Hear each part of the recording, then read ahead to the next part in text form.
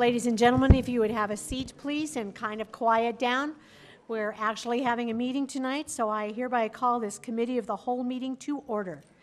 Uh, Counselor Winter is excused this evening, and Counselor Benton will be arriving soon. All other counselors are present, I think, or at least close to being present. Please stand for a moment of silence, followed by the Pledge of Allegiance led by Stephanie Yarrow.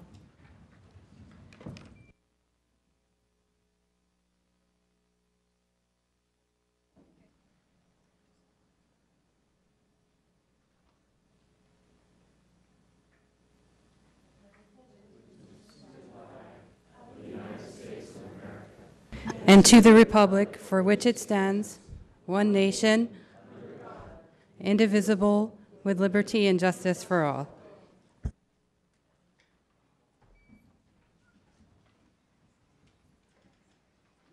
Thank you all for being here this evening, and Stephanie, thank you for leading us. Uh, Just some housekeeping, uh, the Civic Plaza parking passes are provided for members of the public. You can obtain a parking pass from council staff at the sign-up table. Tonight is the first of three public hearings the council is required to hold on the city's operating budget. Tonight's meeting will focus on the social goal budgets, which include cultural services, family and community services, fire, police, parks and recreation, and senior affairs, among others. On May 10th, the council will hold a second public hearing to discuss the city's physical goal budgets, which include aviation, DMD, planning, and transit, among others. At tonight's meeting and the meeting on May 10th, we will receive public comment. The council will hold a third committee of the whole meeting on May 17th to consider amendments or four substitutes to the bills on tonight's agenda. No public comment will be taken at the May 17th meeting. At the end of the May 17th meeting, the budget as amended or substituted will be sent to the Monday, May 21st City Council meeting for adoption. Public comment will be taken at the May 21st council meeting. We do appreciate everyone being here this evening and your participation in this process. It's one of the most valuable tools the council has in order to determine whether or not the proposed budget meets the needs of the citizens of Albuquerque. We do have several um, signed up for public comment, so we will go to that public comment with each speaker having two minutes. The green light on the podium will turn yellow when you have 30 seconds remaining. At two minutes, it will turn red and ring to signal your time is up. I want to please ask you to hold your applause, hold your comments. Please be respectful of all speakers, whether you like what they say or not, because that is the right thing to do. This is the same as a court of law. Please be respectful and let this meeting go forward because we do have quite a few speakers. So the first speaker is, I'm going to call three speakers' names, and you will be speaking in that order. Uh, after the second one is finished, I'll call more. So please, all of you, when I call your name, come to the front and be prepared to stand up. First speaker is Jay Spang. Good evening, sir. Good evening, Council. How are you? Thank you, uh, Common Council, for your continued support of Warehouse 508 by NMX Sports. Uh, my name is Jay Spang. Um, I'm here with Eddie Vargas and we're here to discuss, unfortunately, our financial crisis um, that we're having.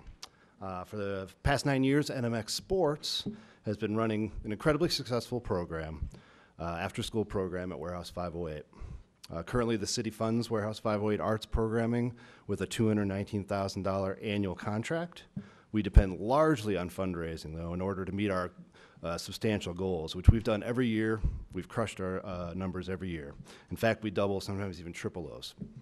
Um, our largest fundraiser is our ski card, and as you all know, this was a lousy ski season, to say the very least. So, uh, we are at a point now where we're actually going to have to either reduce our uh, programming or even possibly close. Our uh, numbers look like it's going to be September of 18 uh, when we actually run out of money. So, that would be a complete disservice to our youth. Uh, it's not an option that I'd like to see happen. I'm not going to let that happen. In fact, um, to, in order to keep the doors open, Uh, unfortunately, I had to actually fall on the sword for the organization, so I'm no longer the executive director, um, and Eddie has stepped in as interim director in that case. Uh, so, uh, without my salary on the book, it does give us uh, an extension, but not a solution. You know, and this is where the council comes in. This is where you guys can be the hero. You know, this is uh, with a simple vote, you can help us um, make sure that we're thriving, and we continue to serve the thousands and thousands of young youth people that come through our doors that we impact. So we need your help to make sure we don't close our doors. I know it's a tough budget cycle, I know. Um, but I urge you guys to increase the funding for Warehouse 508 by NMX. And this is as a, as a citizen now asking that. So um, I guess my time is out. Is that what that means? Thank you. Mr. Spang. If you'd wait just a moment, uh, Counselor Gibson has a question. Hello, Mr. Spang. I just have a, a couple of questions for you. And um, just in the past year, the past um, 12 months, can you give us an idea of how many kids you have uh, um, serviced and uh, kind of an, an idea of their age range? Absolutely. Our programming ranges from 11 to 20 year olds. Um, so we, we turn no one down. Uh, we make sure that our doors are open for everyone, and we do that through our scholarship opportunity, to which we uh, empower them through uh, community activism. They, they give us five hours of uh, donated time in order to be able to take our classes. Um, in our classes, we do a thousand youth every year, and that's about 300 for our sports program and 700 for our arts program. And then we also host 70 plus concerts a year at our facility, and that number ranges anywhere from 7,000 to 14,000 youth coming just for all ages safe shows at our facility. Thank you. Counselor Davis? Mr. Spang, it's good to see you as always, and it's a great program. I know we invested more in capital improvements for the facilities in Thank the you, last sir. few years. Have Appreciate you that. submitted or made a request for specific funding for specific programs this year through the administration or through the council, or do you need to do that? Um, well, uh, I did meet with Mayor Keller on Tuesday to discuss that. Um, obviously, with the new transition, a lot of the meetings have been pushed back. Um, I'm meeting with Carol Pierce here next week, met with Shelle, and so yes, we are talking with all the divisions, and some things are starting to percolate. Okay. Would you be sure to share whatever you're sharing with them with our staff as quickly as possible so we can put that into our list of stuff? Absolutely. Thanks. Thank you, Mr. Spang. Thank you. Next speaker is Eddie Vargas, followed by Jill Lane and John Chavez. Hello, council members. Uh, Thank you for hearing me out. As Jay mentioned, my name's Eddie, and I'm the interim executive director for Warehouse 508 and NMX Sports. I would like to add, aside from what Jay said, that uh, NMX 508, aside from running the Warehouse 508 contract for the city of Albuquerque, NMX has also been partnering with Parks and Recreation uh, since the winter of 2005. Since then, NMX has organized and managed the only urban-based learn to ski and snowboard program in the state of New Mexico. We also organized and managed a summer camp with the city that has sold out the past seven summers. Although these programs are partnerships with Parks and Recreation, NMX has continued to do so without any sort of monetary support from the city. All the money has come from programming fees and from our own fundraising efforts. Uh, Parks and Recreation would like to see us expand our programming partnerships with them, and NMX would like to do so. Uh, but to do so would require the council's financial support. I ask that the council considers increasing our budget, doing so just to en- ensure our unique and effective programming continues. Thanks for your time. Questions? Jill Lane, John Chavez, and Marie Coleman. Thank you very much for your time this evening. I represent the Anderson Abruzzo Albuquerque International Balloon Museum, and we are here to remind you of the significance of the Balloon Museum to the city of Albuquerque. We represent the ballooning capital of the world as Albuquerque, and we bring folks from around the world into Albuquerque, and it helps our economic basis here in the city. Some of the great things that are happening at the Balloon Museum, we are actually moving into our second decade. And this year, we're going to exceed over 140,000 visitors. Now, in the past, in the early days of the Balloon Museum, many of the visitors came during Fiesta. That's not true anymore. Only 17% of our visitors come during Fiesta. The rest are all aligned with our exhibits, our education programs, and our events at the Balloon Museum. So we serve a very important role to the city of Albuquerque, to the community, and the people that live in this community. That's from the children who attend our award-winning, I, I believe we're in our seventh or eighth year award-winning Stories in the Sky children's preschool uh, storytelling program to our STEM-related exhibits that we're launching and introducing to the community and to visitors from around the world. So our last two exhibits have been very focused on STEM education. So we're really proud of being able to really showcase uh, the ballooning industry and just everything that's innovative about flight for our Albuquerque community as well as for the visitors that come to see us.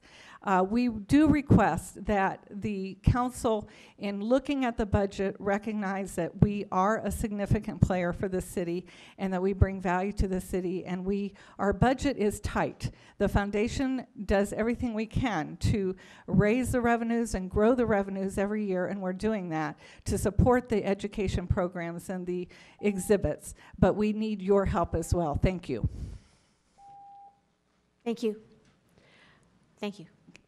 Uh, Next is uh, John Chavis, Marie Coleman, and Pat Sanchez. Good evening, counselors. Uh, My is John Chavis. I'm uh, Vice President of the Anderson Abruzzo Albuquerque International Balloon Museum. Kind of a long-winded uh, way of saying it, but we like to call it the Albuquerque Balloon Museum. Um, And that's why we're here today, for asking for your support of that museum. Uh, What Jill just explained is that we're on a a growth curve. Um, We're one of the, we're lucky enough to be one of the growth spots in Albuquerque, going- growing to 140,000 visits. You know, that's more than any of the, the, uh, it- the, the a museum that gets funded, and I have to mention this, uh, three times as much as our museum. We are hardworking, we get down uh, in, in the dirt and get, get our hands dirty, our foundation does, and to support the museum. Um, I have to point out uh, inequity in budgeting. Last year, when you took out, uh, the city uh, took out the rentals and the ad- uh, admissions from mu- museums, what that did to us is that took money away from those museums, and at the same time as these museums are growing, uh, both Albuquerque and uh, Museum and the Balloon Museum, they don't have the money to repair the addition, to repair the, the results of the, the uh, disrepair that occurs because of the many visitors. Uh, we need air conditioning, uh, our air conditioning units are, are, uh, need new, new software systems. Our parking lot needs to be restriped. These are wear and tear that, that are occurring on, uh, uh, an asset to this city. People visit us and they see our parking lot in disrepair, and we still continue to get more and more visitors. We need your help. We need your help. We need you to look at the budget more more precisely. We, uh, uh, the, the management of, of the museum uh, um, proposed a price increase, which was accepted. None of that money was accepted to flow back to us. We have a million dollar budget uh, for, from the city. It was kept at a million dollars. We were asking for thirty thousand dollars. Thirty thousand just to keep the lights on and keep going. We ask that you reconsider that uh, and uh, support the museums, both of them. Thank you. Thank you, sir. Next is Marie Coleman, Pat Sanchez, and Alaska Piper. Hello. Good evening, counselors. I am Marie Coleman. I own the Church Street Cafe in Old Town, and I'm here to talk to you about public restrooms. we definitely need public restrooms in Old Town. Um, we've been promised them before, and this never happened. And we have some public restrooms in Plaza Don Luis, but it's not sufficient for the crowds that we get, and it's not it's not sufficient for the people, you know, that come to visit us from all over. I have some property on, um, at the entrance of Old Town off of Romero and, um, Rio Grande, which is right at the entrance. And I'm proposing putting some public restrooms there. Um, I'm asking for the same contract that you give Plaza Don Luis. I'd be willing to maintain them and keep them nice and pleasant and a great place for us to send our visitors who desperately need a bathroom. So, that's it. Thank you. Thank you, ma'am. Just a moment, please. Uh, Counselor Benton. Yeah, I just want to thank Marie and uh, Hi, Isaac. Chuy Martinez ta- uh, también, Chuy, uh, for uh, meeting with us, uh, myself and, and Director Simon.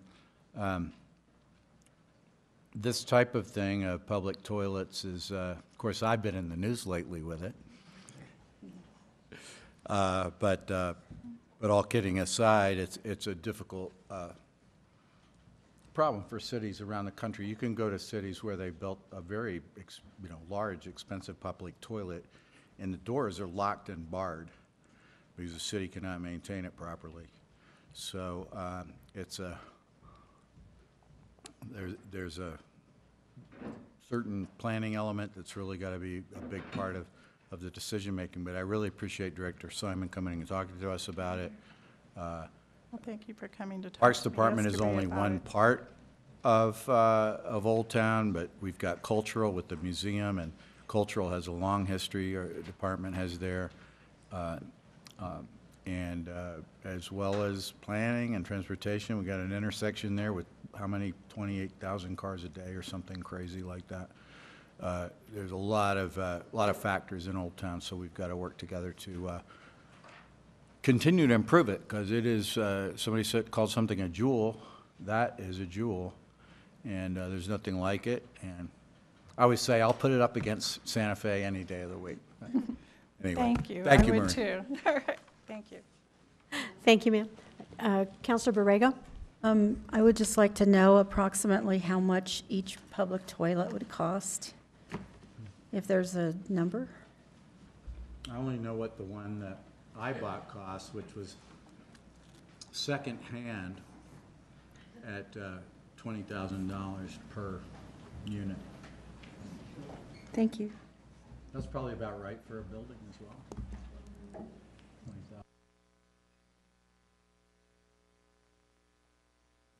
Thank you. Next speaker, Pat Sanchez, followed by Alaska Piper and Sean Wells. Good evening. Good evening, City Councilors. I'm, my name is Pat Sanchez. I'm a board member with the Albuquerque Balloon Museum. And just to add some color of my fellow board members on the deferred maintenance issues that we are having at the Balloon Museum. Uh, one of the big things, as mentioned, is the HVAC. Um, like I said, this heats and warms and cools our museum and is currently in need of repair and replacement with a cost of approximately seventy-five thousand dollars. And then the biggest thing is the parking lot. As mentioned, with the number of events that are happening there, there are cracks, there are the stripes, you can no longer see where people need to park, um, which is a good thing in, in the sense that it's getting a lot of use from all the other events that are being held there. But these deferred maintenance issues that we're having at the Balloon Museum really require your consideration for the museum, and I appreciate your time. Thank you. Thank you. Alaska Piper, Sean Wells, and Nancy Abruzzo.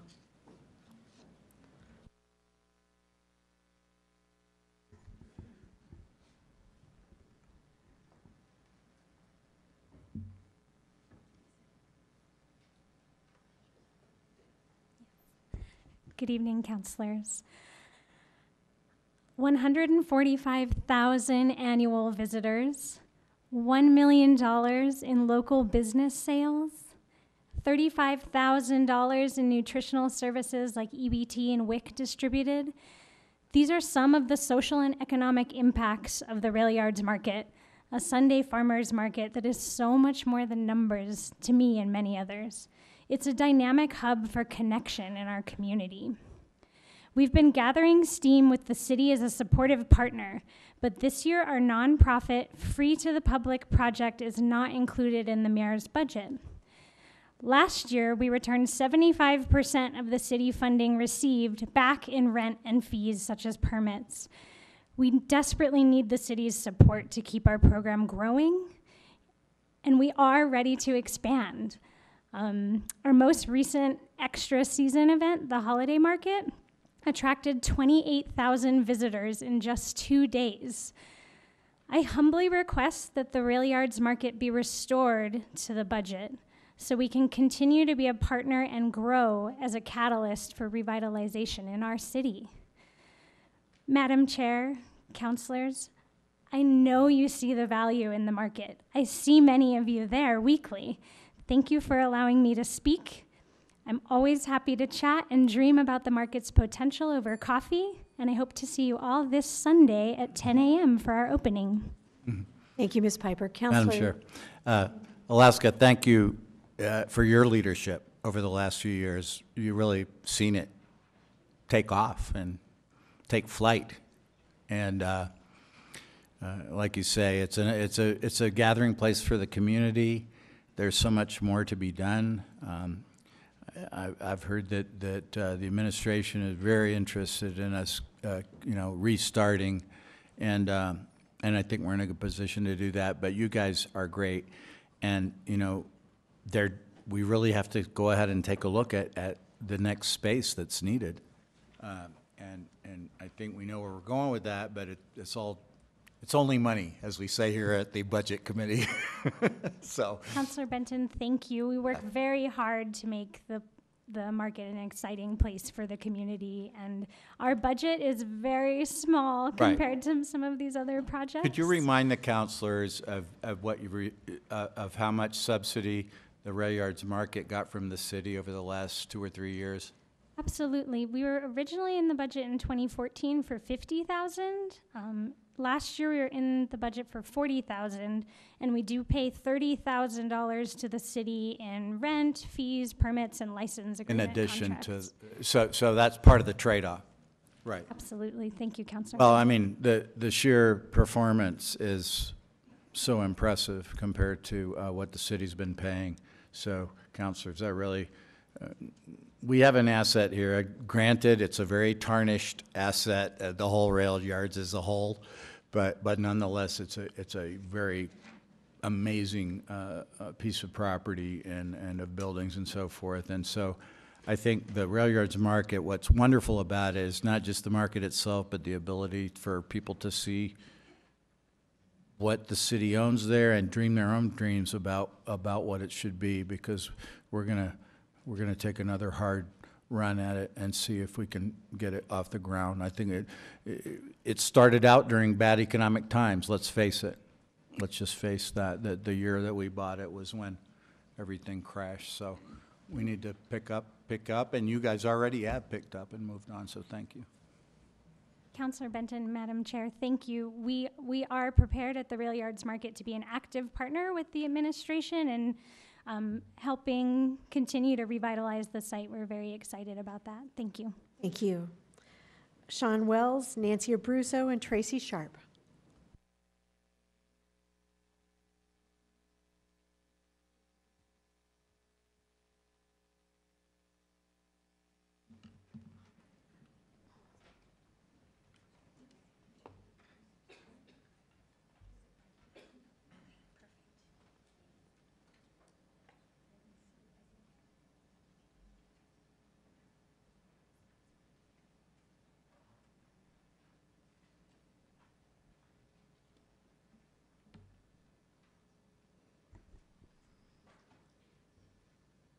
That's not me.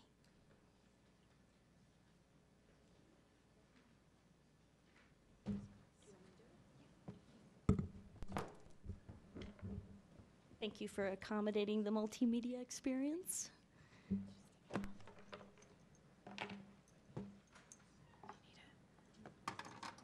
Oh, do I have to switch it? Oh, it's, I've got it.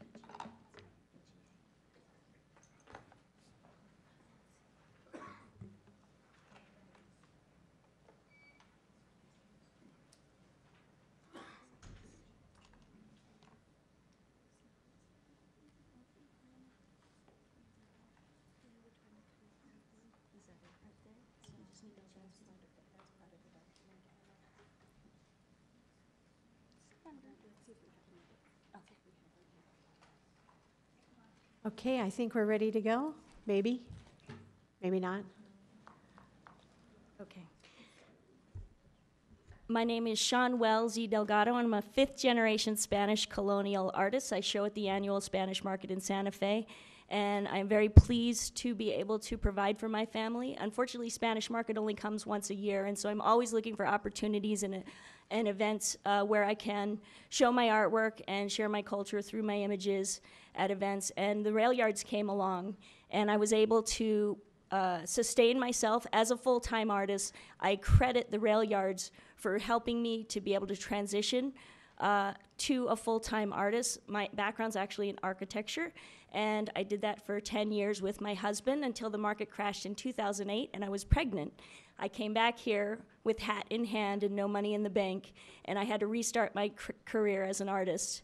And with the rail yard's help, I've been able to, to do that. Uh, in the presentation, um, I'll just show you this graph. This is a graph of my income since participating in the rail yards. In 2011, my income was zero dollars from art. And every year since then, I have been able to double my income. In 2016, it was 28,000 s- s- uh, specifically from art. And in 2016, it was over 50,000. So I just want to show a tangible number to the fact that Rail Yards is here fostering and incubating small entrepreneurs like me. When I started this before Rail Yards, I was on EBT, also known as food stamps, and having a graduate degree and participated in architecture, taking six figures, it was a huge, huge uh, dignity blow to be on food stamps. And although it served me very well, and I was very glad and grateful to have it, I'm very proud to to um, be able to take care of my family through my art. And I thank Rail Yards, and I thank the staff, especially Alaska, who's the bargain of the century. So please support this market because they're supporting people like me who are, are ready to contribute and give back to the community. Thank you, ma'am. Uh, Counselor Davis? And then Counselor Pena? Sorry, I just want to say thank you. I think that's a great example of exactly the type of economic development we should be investing in in Albuquerque. It's culturally important to us. It's something that can't be exported because it's about us and it keeps our money here and it supports each other. And it's a great example of what the rail yards does. Um, Madam Chair, if I can, I just want to ask the CAO very briefly, uh, and I know we'll get into this in another discussion, but can the administration give us a quick overview for folks following along about uh, funding for the rail yards and their perspective on this? Yes, thank you. Uh, Madam Chair, Councilor Davis, uh, yes, thank you. So uh, this year, we presented some of the information regarding cultural affairs events in a, in a little different fashion, but when we get to that uh, section of the presentation, we have a memo for the council that details the organizations um, that, that we would propose funding um, for this type of event funding. And we'll go over it in detail then, but did want to flag, while these folks are still in the audience, that we have included in our proposal $40,000 for the rail yard, which matches their money from last year. Thank you, Madam Chair, and thanks, Madam CAO. Thank you, Ms. Nair. Counselor Pena? I was just going to make a comment. Um, Ms. Wells, um, if everyone knows her, she's just a, a tremendous artist in our community. She actually has designed, I don't know if you've ever seen those bottles of wine that have, it's a collection with all the Dia de los Muertos on it. And, um, you know, we were, I was talking to her at the South Valley Pride Day this weekend, and she was telling me that they're actually selling on eBay for quite a bit of money. And she was uh, letting me know about the uh, first edition, and the ones I have are the first edition. So, but I just want to say you're a tremendous art artist. So thank you. Thank you. Counselor Benton? Yeah, and just thanks for, for telling your story because, uh, I mean, I, I think that I've, I think that's been multiplied so many times at the rail yard market and, uh, and, uh, and just also want to, you know, shout out to, to the folks who are working on, a- on, on a new Main Street for, for Fourth Street in Barelas, which is just a classic Route 66 street, no, no less than any other uh, of, uh, of the route. And, um, uh, and the work of the economic, of the uh, coalition who's working to, to cr- try to make this a feeder, that the rail yards would actually be a feeder for uh, another market on Fourth Street. So, uh, good things happening and, and because of good people working, so thank you. Thank you, Counselor Benton. Uh, Next speaker is Nancy Abruzzo, followed by Tracy Sharp and Terry Neville. Hello, counselors. I'm Nancy Abruzzo, and I sit on the Board of Trustees for the Balloon, Res- uh, Balloon Museum. I'm here uh, for twofold reasons. First and foremost, it's um, in regards to um, our admission increase that has taken place for the very first time since the inception of the Balloon Museum. And we feel strongly that this increase um, would be a direct benefit to the museum. And so I stand here respectfully asking you for your reconsideration of those potential increase in admission prices directly back to the museum. Um, as it's been spoke to earlier here tonight, our attendance record has a very strong track record. It has um, had traction over every year. It increases and it exceeds the, the um, estimates that we pay in admissions. And so while I understand the gross receipts tax increase has passed, um, it would be a windfall and such a benefit for the museum and its staff to have access to the potential of uh, $54,000 that's projected in the increase of the admission costs.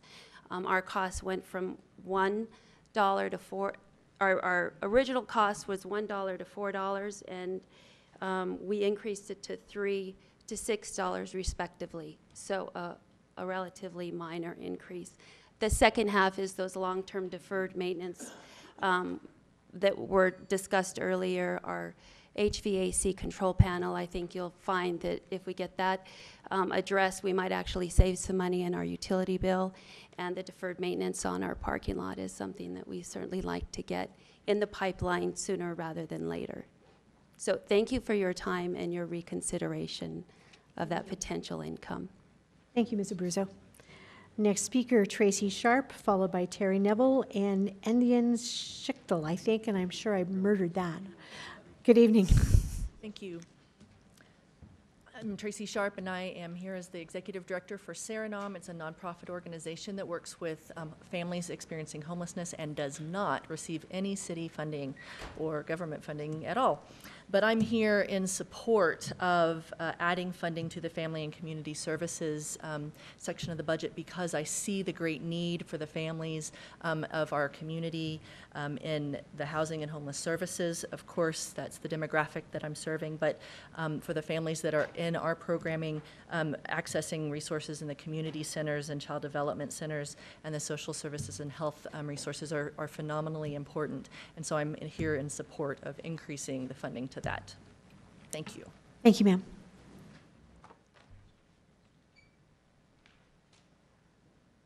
Jeremy Rutherford will be our next and last speaker. Good evening, and tell me how I pronounce your name?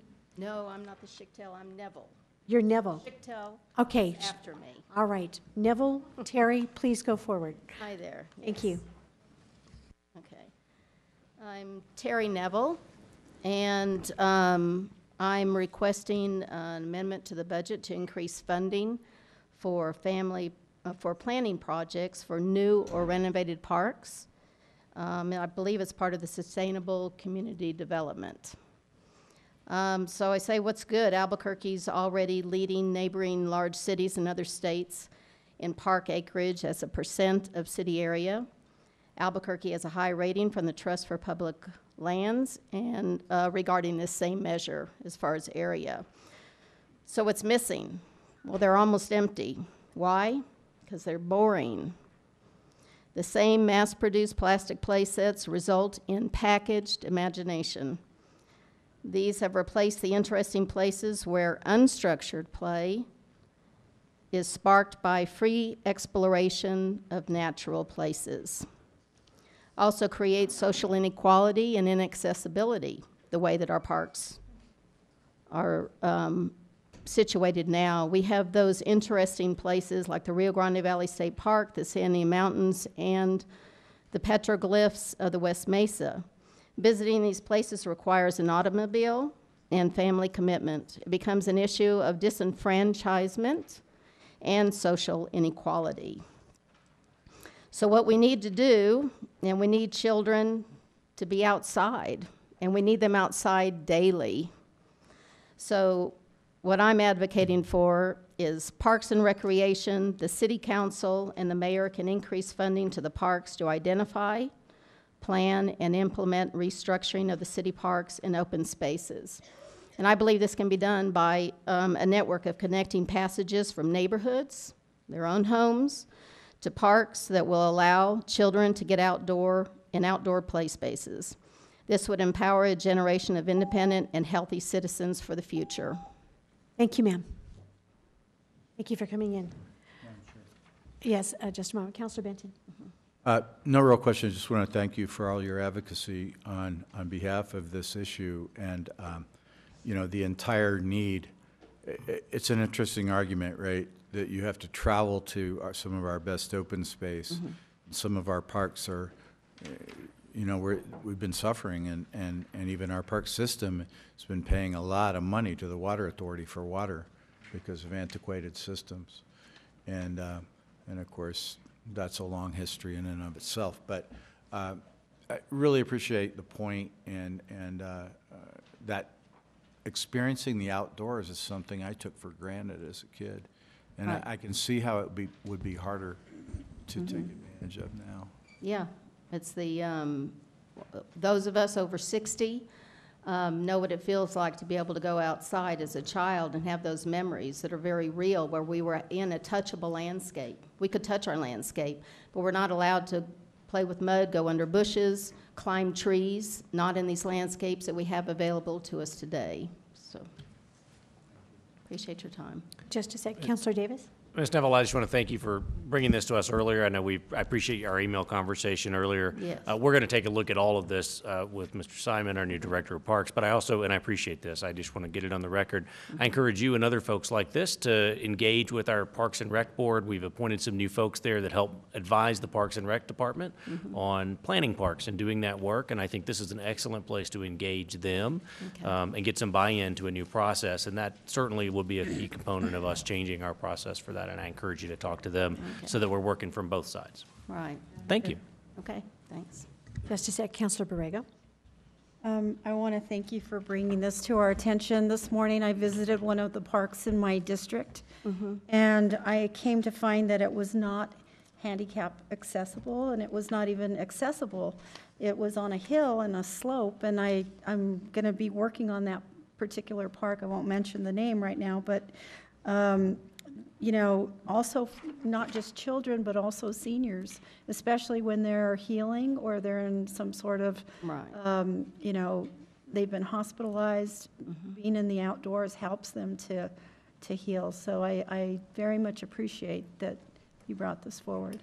And like you say, you know, the, the people um, need this kind of diversity too, you know, to see and, and feel the dappled shade over them of the trees, but they also need to walk through bushes and touch plants and, and, um, and especially for the handicapped, it's really important, right, to modify these places. And children need to be able to pick up sticks and, and, and look underneath um, dirt and soil and leaves. They need to feel all of that.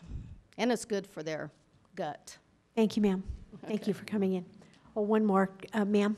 Councilor Harris has a question. It's a, more of a comment, but you can come up if you like.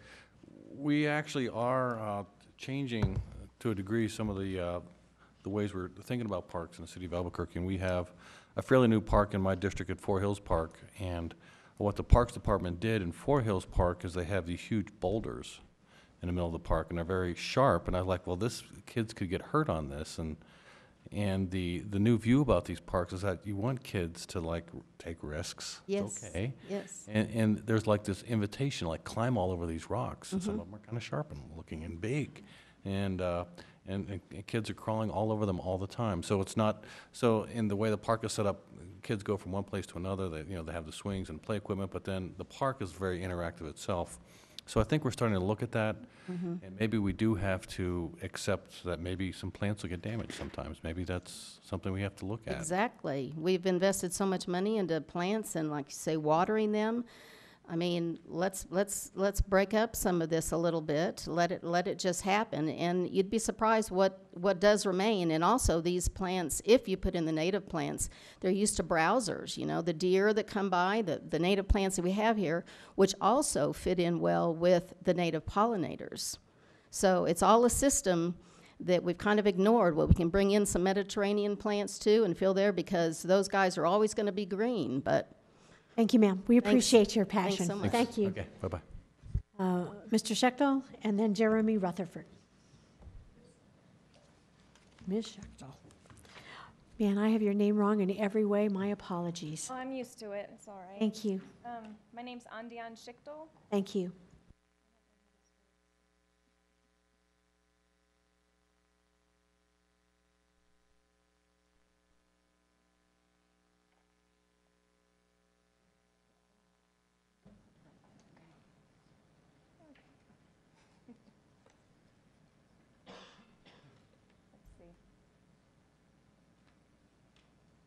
Um, my name's Andian Schichtel, and what I have up here is just examples of exactly what Terry was talking about.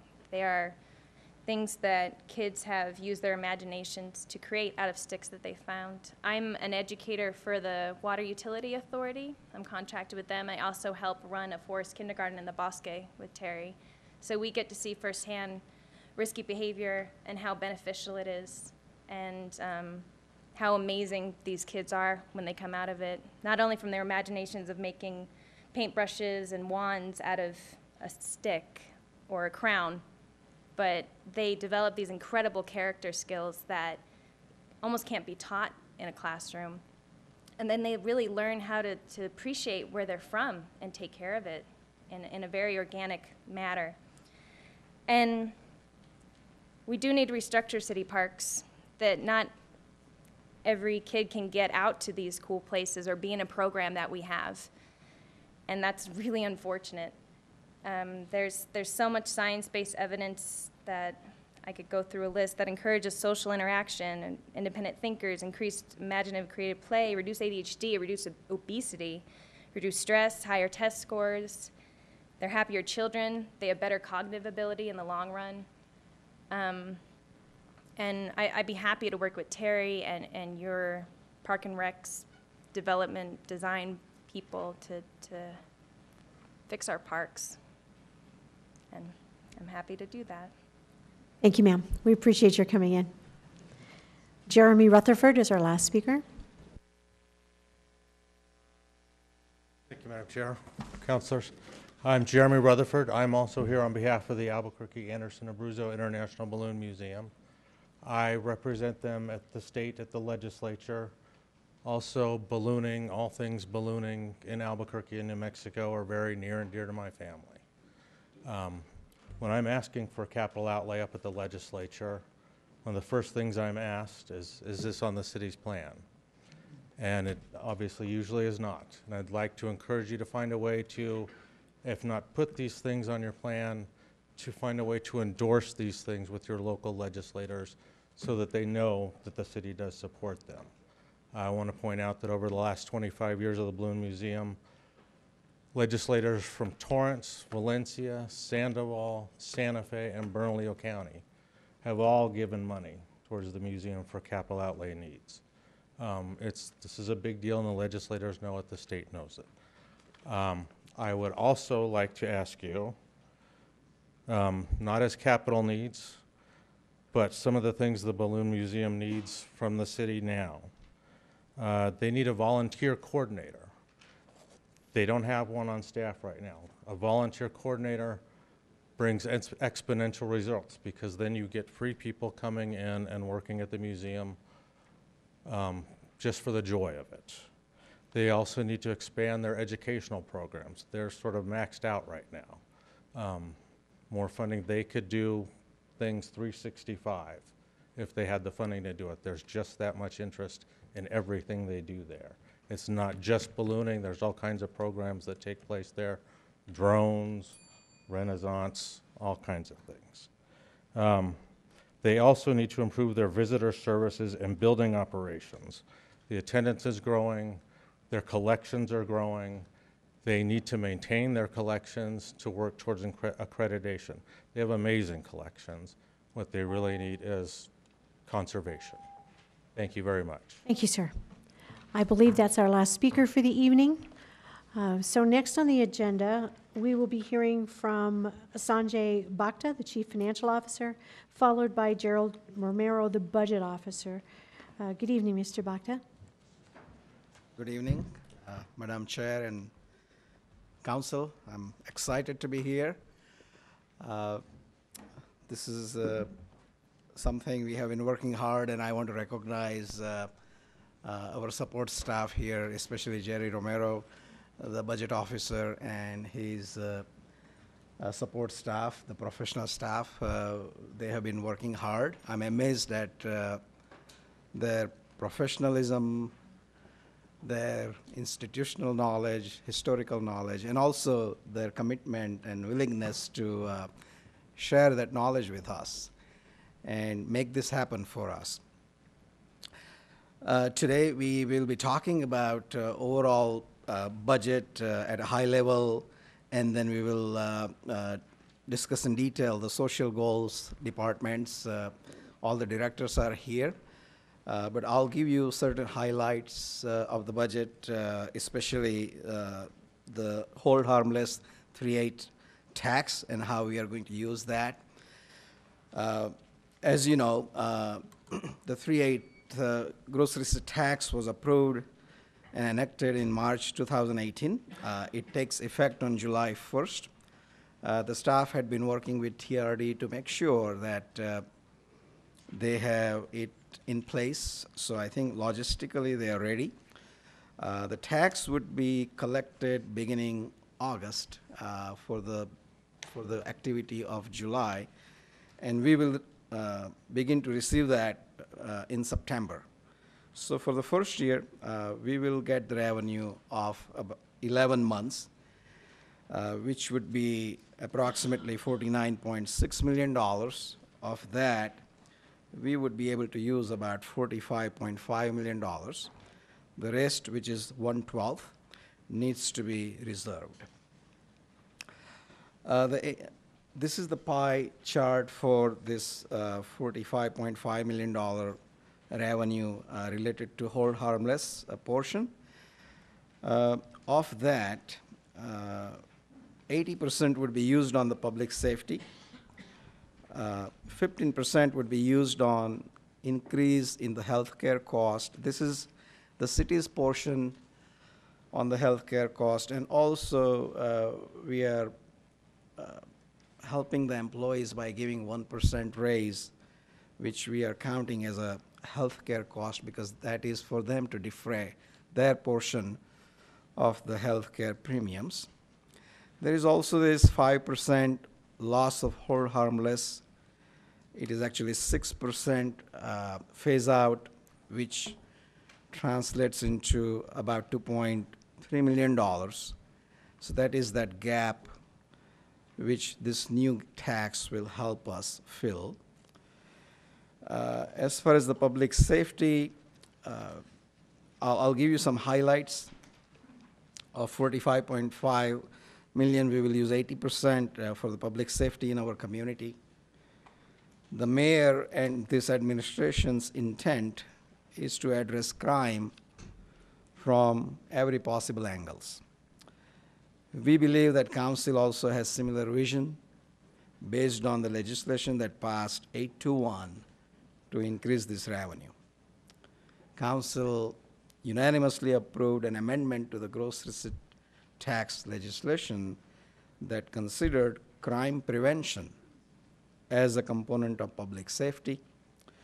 The council also voted to use no less than 60% of the proceed for public safety, and as you will see, we exceed that requirement and we have allocated 80% of that to the public safety. So primarily, the, the administration developed the budget with these two amendments in mind. Uh, we, be- we believe this budget reflects council's objectives identified in uh, Ordinance 18-9, and this budget reflects the mayor's vision of attacking crime from all sides, including initiatives aimed at addressing our community's struggles with homelessness, mental health challenges, addiction, education, and domestic violence. Crime prevention and intervention includes investing in our children. The mayor has allocated, this is just one of the examples from the list, which we'll uh, see in the next slide. The mayor has allocated $954,000 for family and community services, parks and recreation, cultural services departments to double the total number of students who are kept off the streets and out of harm's way through before school, after school, and summer and early childhood programming. In addition to the budget, the administration has instructed our directors to work together to address public safety on all fronts, and they are working together. Our chiefs and directors understand that we are one city, not 22 or so different departments, and they need to leverage their resources to improve the safety of our community. This is a list of uh, the portion uh, of the new tax revenue, uh, of which 80% is allocated to public safety. I will not go into details of all of this because when we uh, have the detailed discussion on the department's budget, the directors uh, would talk about it. However, uh, certain items I would like to highlight is uh, from this, majority of the items are allocated to either APD or the fire department. Uh, the first and the major alliance portion is $12.8 million, which includes a reserve appropriation for 40 new officers plus funding for salaries, benefits to, to be used in a compensation package intended to retain officers, hire new officers, and attract lateral officers. So this total package would add about 100 police officers in fiscal year 2019. The other item, a major item here is $4 million for the police vehicles. We have an aging fleet at APD. Not only that, with the new officers that we are going to uh, recruit, there will be need for more vehicles. This $4 million will supplement $800,000 that we are going to get from the state, uh, which they appropriated in the last budget cycle. We will get that in July. And it also uh, will add to about $3.2 million, which, which we uh, had in the 2017 GO bond. And the first of that GO bond, uh, uh, first of those $125 million, we sold the bonds uh, in the beginning of April uh, for $84 million. And from that, $3.2 million is allocated for the vehicle. So we believe that this $4 million plus $3.2 million and $800,000 uh, is, is, uh, will help the APD to uh, mu- uh, the need to replace the vehicles and add some new vehicles. Uh, $2.3 million is related to DOJ court-approved settlement agreement. Uh, There is a total of 12 positions, nine of them uh, are new, and that is to comply with the DOJ uh, settlement. $1.9 million is ad- to address the backlog at the crime lab. I think this is a good messaging. The, the, the criminals should know that we are, you know, uh, analyzing the data, and that would help us uh, tackle the crime. Uh, There is also $1.2 million for the new technology projects related to fighting crime as outlined by DTI in three-year plan. As you are aware, we, we had uh, folks visiting from uh, New York uh, Police Department, and they also looked at this plan, and I think uh, this is something similar to what they have. So this should help uh, to tackle the crime. Last but not least from this list is uh, $102,000 uh, $102,000 for Safe City Strike Force. This is for the planning department to sort of uh, identify uh, the houses uh, which, which needs repair, uh, which needs to be boarded up. So this would help our uh, public safety initiative. I would like to discuss some uh, outlook related to economy in the next few slides. The total employment growth rate, as you can see here, uh, is barely about 1% right now. And traditionally, we have been lagging uh, with the federal growth rate. In Albuquerque area, uh, the employment growth rate is the driving factor for the economic growth. Uh, and it's been stagnant. Uh, I see that we are actually going to do slightly better in our projection compared to the to the U.S. federal uh, growth rate. However, it may be because of sometime we lag into the growth and we are a little bit behind when it uh, the trend is declining. We, we, we are slightly behind the federal trend here. However, just this is not very optimistic picture. Uh, this also tells us that we have an issue with our population. I think we, we have a very minimal population growth, which is primarily attributed to uh, the difference between the death and the newborn, which is just a natural growth, and that's not sufficient for any economy to kind of thrive. Uh, but if we somehow can grow the economy, I think the employment will grow, and then we will be able to attract more people. Uh, but we, we had a huge, uh, you know, uh, spike in 70s and 80s, and I, I believe those days are behind us, unfortunately.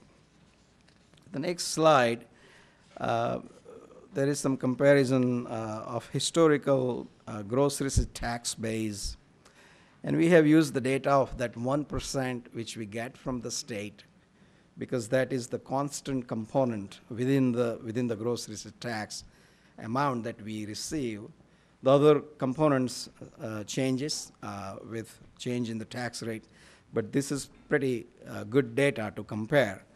And as, you- as you can see, we had a humongous, you know, uh, spike in 79 and uh, then early 80s and mid 80s, but you know, we, we, we haven't quite recovered from the recession of 2008. It's been, it's, the growth had been very muted. Again, if you actually look at the real data with uh, inflation adjusted rate, uh, the actual growth is barely above uh, zero, uh, just about 1%, which kind of validates the other data we have on the population and also the employment growth. Uh, so I just want to caution the council moving forward, we, ha- we will have to be very prudent, even though we have additional revenue uh, through the hold harmless new legislation. I think the outlook is pretty, uh, pretty muted. Uh, I mean, the only thing I can brag about is that it's just above zero, but there is nothing else to brag about here, unfortunately. So we, we need to really focus on economic growth to, to kind of drive uh, the revenue base here. The next slide, we have uh, the growth of uh, gross tax base for the current year. As you can see, the distribution, uh, which is the actual distribution we receive from TRD, is in the red, and that's very volatile. And that is, as we all know, they have issues there with reconciliations and clawback. So it's very difficult to predict what we will get uh, next month. However, if you look at uh, the cumulative growth, again, initially, I think in our five-year plan, our growth expectation was about 2.3%, uh, which we revised to 1.7. And right now, we are trending at 1.2%. So that, that's not really good news. However, we have three good months uh, coming, and there is, there is a time to catch up. And our economist is uh, actually pretty optimistic that we will catch up. Uh, In the next slide, we have the gross receipt tax growth by the sector. This is uh, kind of uh, interesting slide. We have consistent growth in accommodations, uh, the hotels and the food services, which is good. It's, uh, it's, it's been like that for more than a year now. The construction is also doing really well. The two things to consider here is that the food service and lodging industry growth is good. We will take it, but they really don't create high-paying jobs. You know, they- these are just uh, low-level jobs. And the construction is good. However, it's generally one time, and the jobs created in construction industry tend to be not permanent. Uh, though it, it's, it's good, I don't know how, how uh, long it will continue like that. The one thing which is troubling here is uh, medical hold harmless. There is a decline of uh, almost 28%, which sort of doesn't make sense because the healthcare is up by 6%, and the medical is somewhat related field. It should have same growth. That said, if the healthcare was six percent, uh, if the healthcare growth was six percent, medical, because of the hold harmless, could be zero, and I would actually accept it because the six percent is the phase-out portion. But instead of six percent, it's almost minus twenty-eight. So there is something wrong in how we are getting the money. It could be an issue at the TRD, which we have discussed in past or it could be also a reporting issue. Uh, same like uh, food as well, where if the things are growing, why would food not grow? Which, which is which kind of beats me. And Councillor Davis actually had a very good suggestion a couple of months ago that we we identify the grocers, retailers, and educate them. So I, I want to report to you that we did that. We we uh, figured out how to communicate with them, and we wanted to let TRD know that we want to do this, and we need your blessings. And uh, you know they are not happy about it, and uh, they think that we will confuse the taxpayers. They have a little bit of a point. And they are also saying, not in writing though, they, they spoke to our economist and said that they are doing certain things. They have identified certain taxpayers and they are working with them. And they know that there is an issue with the reporting. So hopefully, you know, that would be fixed. Um, our Deputy Director of Finance and Administration, Olivia, wrote an email to them that, can you give this to us in writing and kind of give us a high-level uh, uh, outline of what exactly you are doing? Uh, I haven't seen the response yet. Uh, Madam But Chair. we'll see. We'll, we'll continue to monitor this. Yes, Madam sir. Chair, if I could interrupt. uh, Yes, Mr. of Proctor, course, thank you Councilor for, Davis. thank you for following up. You beat me to it. I wrote that note. and I was going to ask the progress on talking to our grocers mainly about the appropriate use of hold harmless. Can I- can you just clarify for me? Sounds like you were working with TRD. Have we done any of that education yet? Or we're, we're trying to be good partners with TRD first, right? To be sure we're doing that together. Is that what I understand? We, uh, Councilor Davis, we actually have a, a- a communication, a memo, kind of on a postcard, which was about to go. Okay. To the grocers, but we wanted to check that box. Sure. We didn't want to surprise TRD. I- It was kind of, you know. uh, The way they a do us Protocol to, to let them at least know, and generally, they don't respond uh, quickly, but when we told them that we are going to do this, they actually responded very Hey. quickly and said that don't do it right now because they are doing certain things. So Good. we are going to give them an opportunity to explain to us what they are doing, and if that's fine. And we also said that we, we stand ready to help you uh, educate people, uh, anything we can do. So- Mr. Proctor, thank you for taking the initiative to do that for your team as well. I know long-term, that'll pay off for the city in, in fair revenues and hopefully in this back and forth sort of we have with them. So thank you, and thanks for giving us an update. And I appreciate that suggestion. Thank you for that. In the next slide, we have uh, adjustment to the gross receipts. Uh, This is sort of a reconciliation of uh, the growth rate without the adjustment, which is 2.3, to adjust, adjusted rate of 1.7, because there is this uh, food and uh, medical hold harmless portion which we are reducing. And then in future years, we also have this tax increment uh, Development District reduction, which is a slight decrease, uh, so that will impact our total revenue. Again, you know, uh, this growth rate of 1.7 to 2.2 in FY '19 and 2.5 is kind of muted, and I, I I wish that it would be more, and we will, will work on it. With that, uh, uh, Madam Chair and uh, Councillor, I thank you for your time, uh, and I'm going to hand over to Jerry, who would go into the details of uh, each department's appropriation, and we are all here to answer your questions at the end of it. Thank you again. Thank you, Mr. Bhakta. I think there might be a few questions for you first. Councilor Davis? I promise it's not all me tonight. Uh, Mr. Bhakta, just, can you clarify for me? I know the administration is proposing um, and has budgeted for a 2% across-the-board increase, except for bargaining units with a different concept. But I also heard you mention that, uh, if I got this right, part of, of course, increasing our healthcare premiums means we take 80%, our employees still pay their 20. And so was that about a 1% that I heard you say? And I think I'm trying to ask, are we giving, are we, is the administration recommending a two percent that is in reality a one because of the compensated premium, or is it really a three that results to two? No, i it is two. It is one plus one. So the Okay. first one percent, we are considering that to help them defray the cost of their portion of increase in the health premium. Thank you. And then other one percent is just, uh, and then, then one percent uh, is an approximate amount we think will, will defray cost for, I would say, you know, ninety percent of the employees.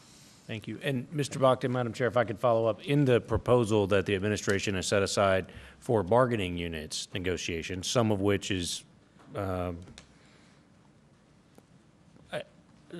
some of which is larger, some of which is sort of more on par there, are you accommodating for that one percent in the recommendations there, or is that simply an extra chunk for them to work out that would, they would have to accommodate the one percent in their recommended budget allowance? Councilor Davis, before I uh, put my foot in the mouth, I think. uh, We can uh, follow up uh, later. Ms. Nair had been uh, kind of working on this Okay. uh, area, and And we can come back to it later We as we get to later, yeah. negotiations. Those are different and it's up to the subject to negotiation. I'm just curious if you had accommodated for that or not. Thank you. Ms. Nair, would you like to answer that? Sure. Thank you. Thank you, Madam Chair, Councilor Davis. So of course, as everyone up here knows, any of the um, raises related to a bargaining unit need to be subject to those negotiations. Uh, So if you're, if you're asking about uh, police and fire and whether that, that is sort of in the mix, I think uh, all of those things are, are being taken into account as we negotiate those contracts. Thank you, ma'am. And Councilor Borrego? Um, Sanjay, thank you for your presentation. I, I wanted to ask you, and I wanted to go back to Table 5, um, and kind of back to the recession and sort of our recovery. And it seems like we've only sort of leveled out at this point in time with the 1%. And I appreciate your comment um, regarding, you know, be cautious, because I think that, you know, after a recession, I mean, we know that there are trends that go up and down. And, you know, I think that it, that comment is very, um, I mean, it could go either way, and I, I know you don't have a, a magic, you know, crystal ball, but um, I guess the question that I'm asking is, um, do you anticipate that, you know, I mean, historically, it shows that when there's a recession, that the, the market goes up and down, and, and, you know, we've, we've only recovered in what, I think, 2009, maybe uh, not quite 10 years. And, um, you know, the future is sort of in limbo a little bit right now, I think. And, you know, I, I know that the growth in Albuquerque has been low, significantly low. You mentioned that.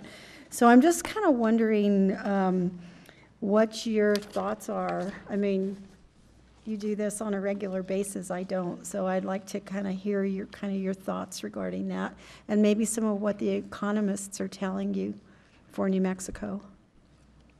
Madam Chair and uh, Councilor Borrego, that's an excellent question. Uh, As I think you answered my question, I don't have the crystal ball. That said, though, I think uh, traditionally, uh, you know, our staff is very proud of how we gather the data.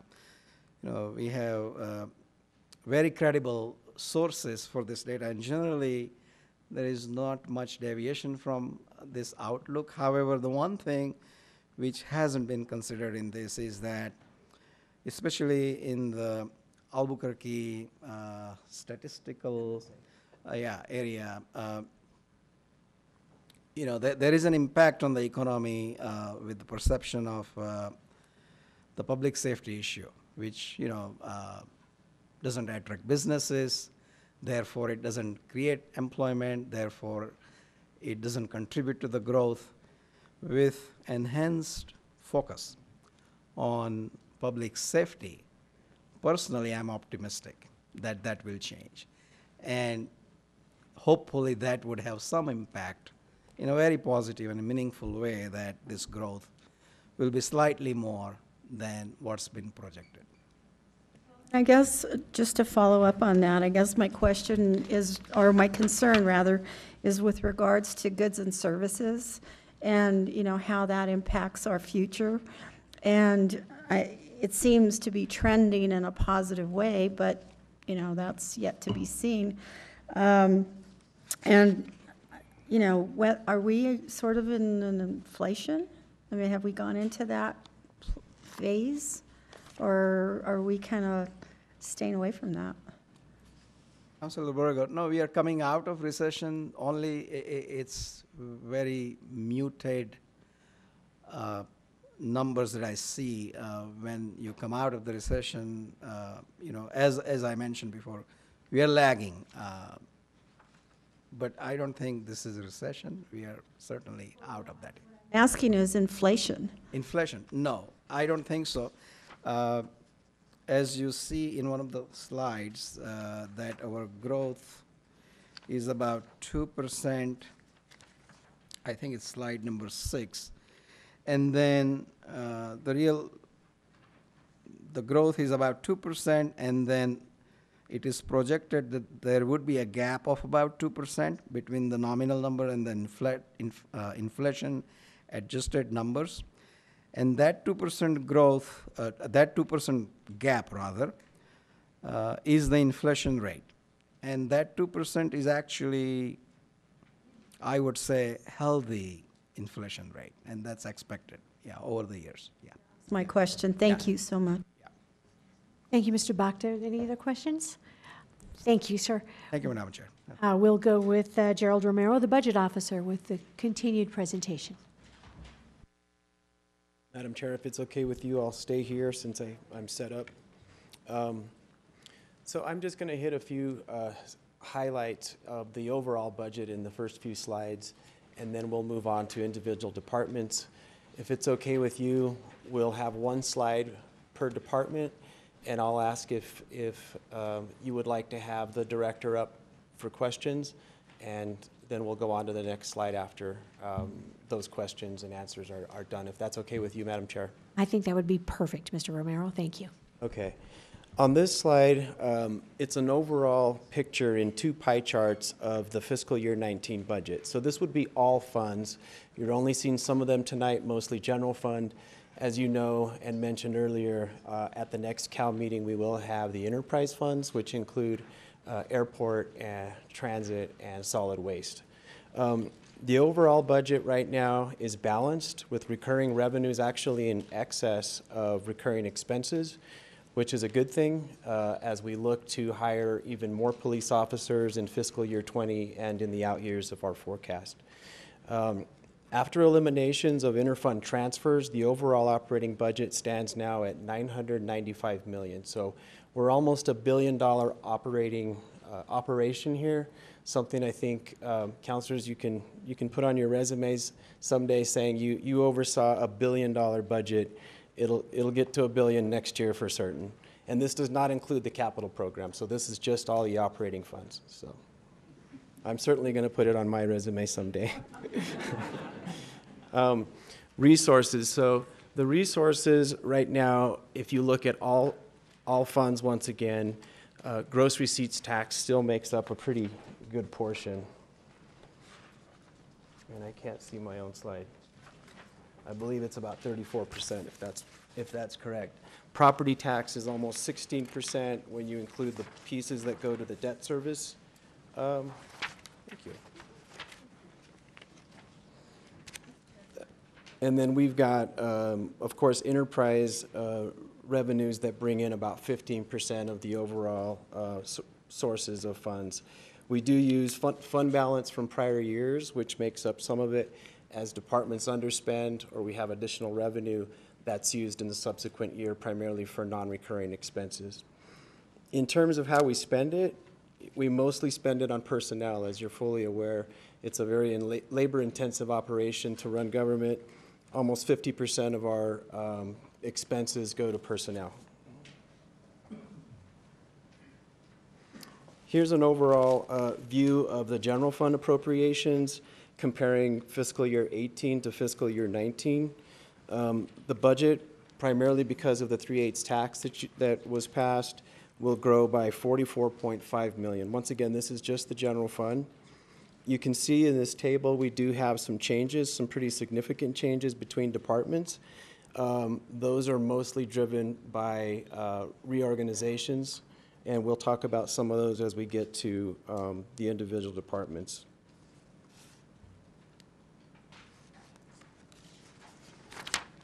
If we look at just the general fund once again, you can see police and fire make up nearly 48% of the overall budget. Um, All other departments are about 53%. So police at 33% of appropriations and fire at 14%.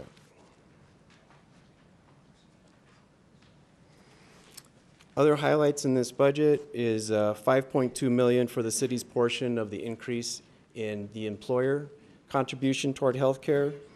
Um, Compensation, as we've talked about, the increase is about 2% for most employees, 1% to offset the increase in healthcare premiums, and then 1% COLA. Um, Compensations higher than 2%, as Ms. Nair mentioned, will be targeted in negotiations for certain unions. We have uh, 3.6 million uh, to restore the risk recovery and half a million for facilities coming online, incu- including Los Altos Pool and North Domingo Baca Gym.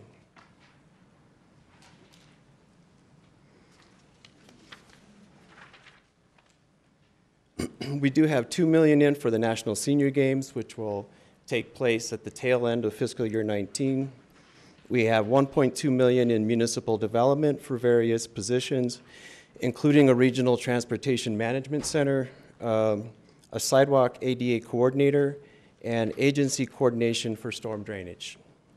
1 point million, 1.1 million for an increase in the subsidy to the gas tax road fund, 300,000 to address the uh, latest increase in the minimum wage, which is something we hadn't been addressing in recent budgets, but that's slowly been creeping up, and we do have some, uh, did have some compression issues, so we are addressing that primarily in uh, family and community services and parks.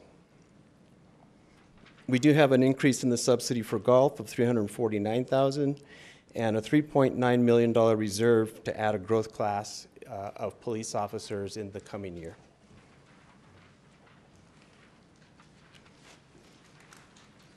In addition to the increase of 3 eighths gross, uh, of 1 cent in GRT, we do have an additional 710,000 proposed uh, from fee increases at various venues across the city.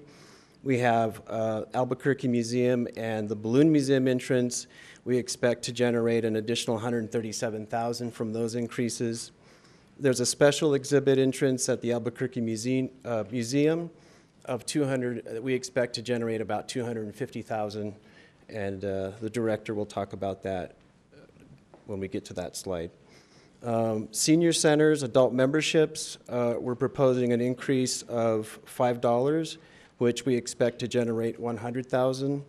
Family and Community Services will implement a new adult membership fee. Um, We're working that out, and we'll talk about that on those uh, individual departments as well. We expect that to generate about 64 million. Increase in uh, erosion and sediment control plan fees generating 14,000. Inspection uh, for stormwater control expected to raise 44,000. And finally, lien processing fees, 101,000.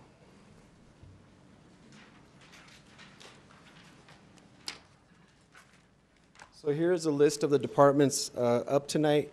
They're not in alphabetical order. We're going to sort of tackle the big ones first. And uh, like I mentioned, Madam Chair, uh, we'll go ahead and and do police first, and then we'll call uh, the chief up to stand for questions.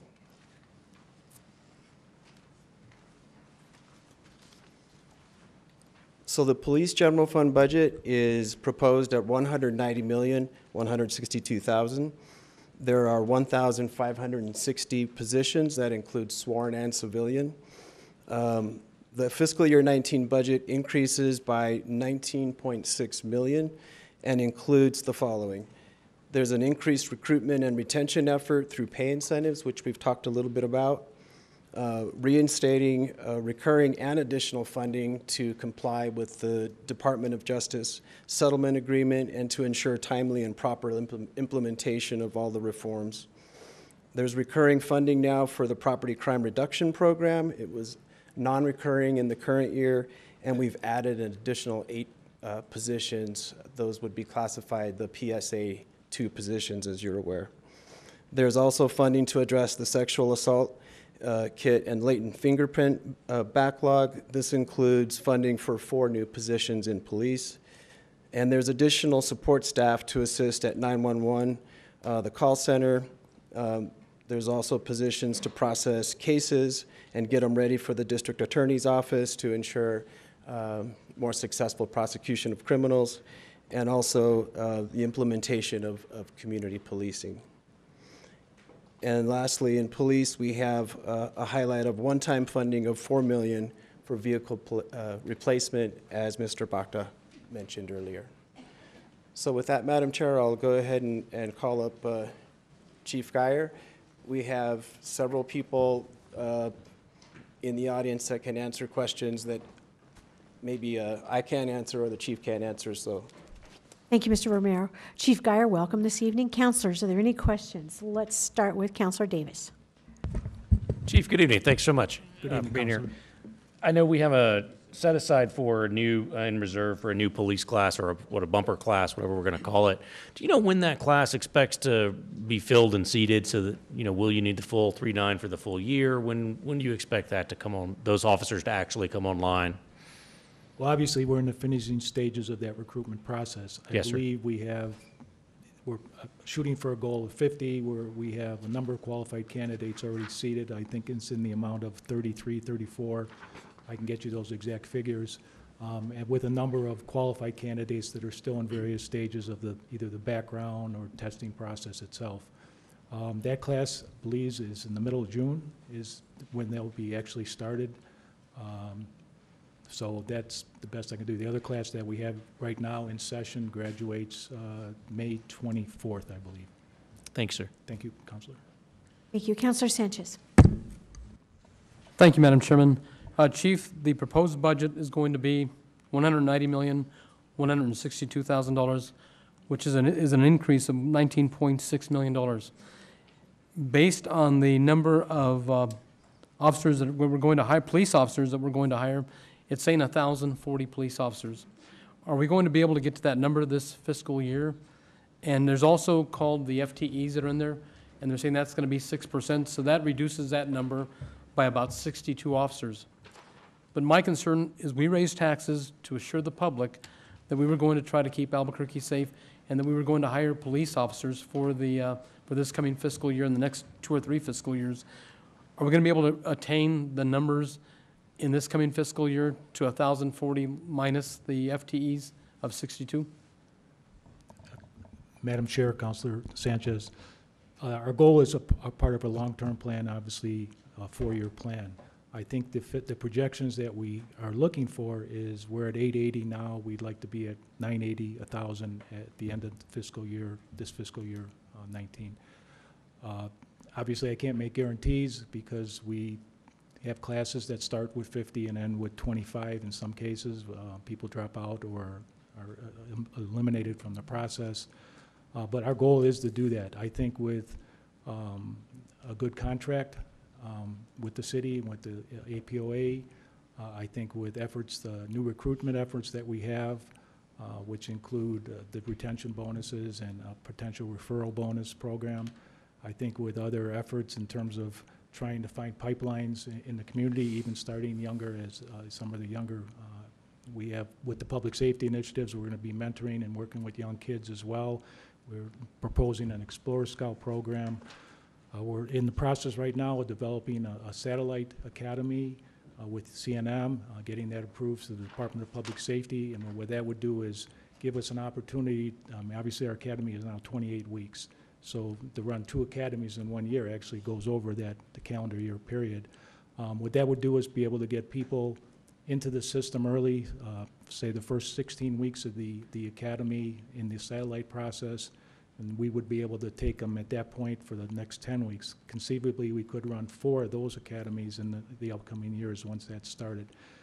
Um, It's very optimistic. Uh, We have uh, a good number of people that I think will come in as laterals. Uh, We've changed a little bit of the, you know, the efforts in terms of uh, trying to attract laterals, recruiting them with different incentives.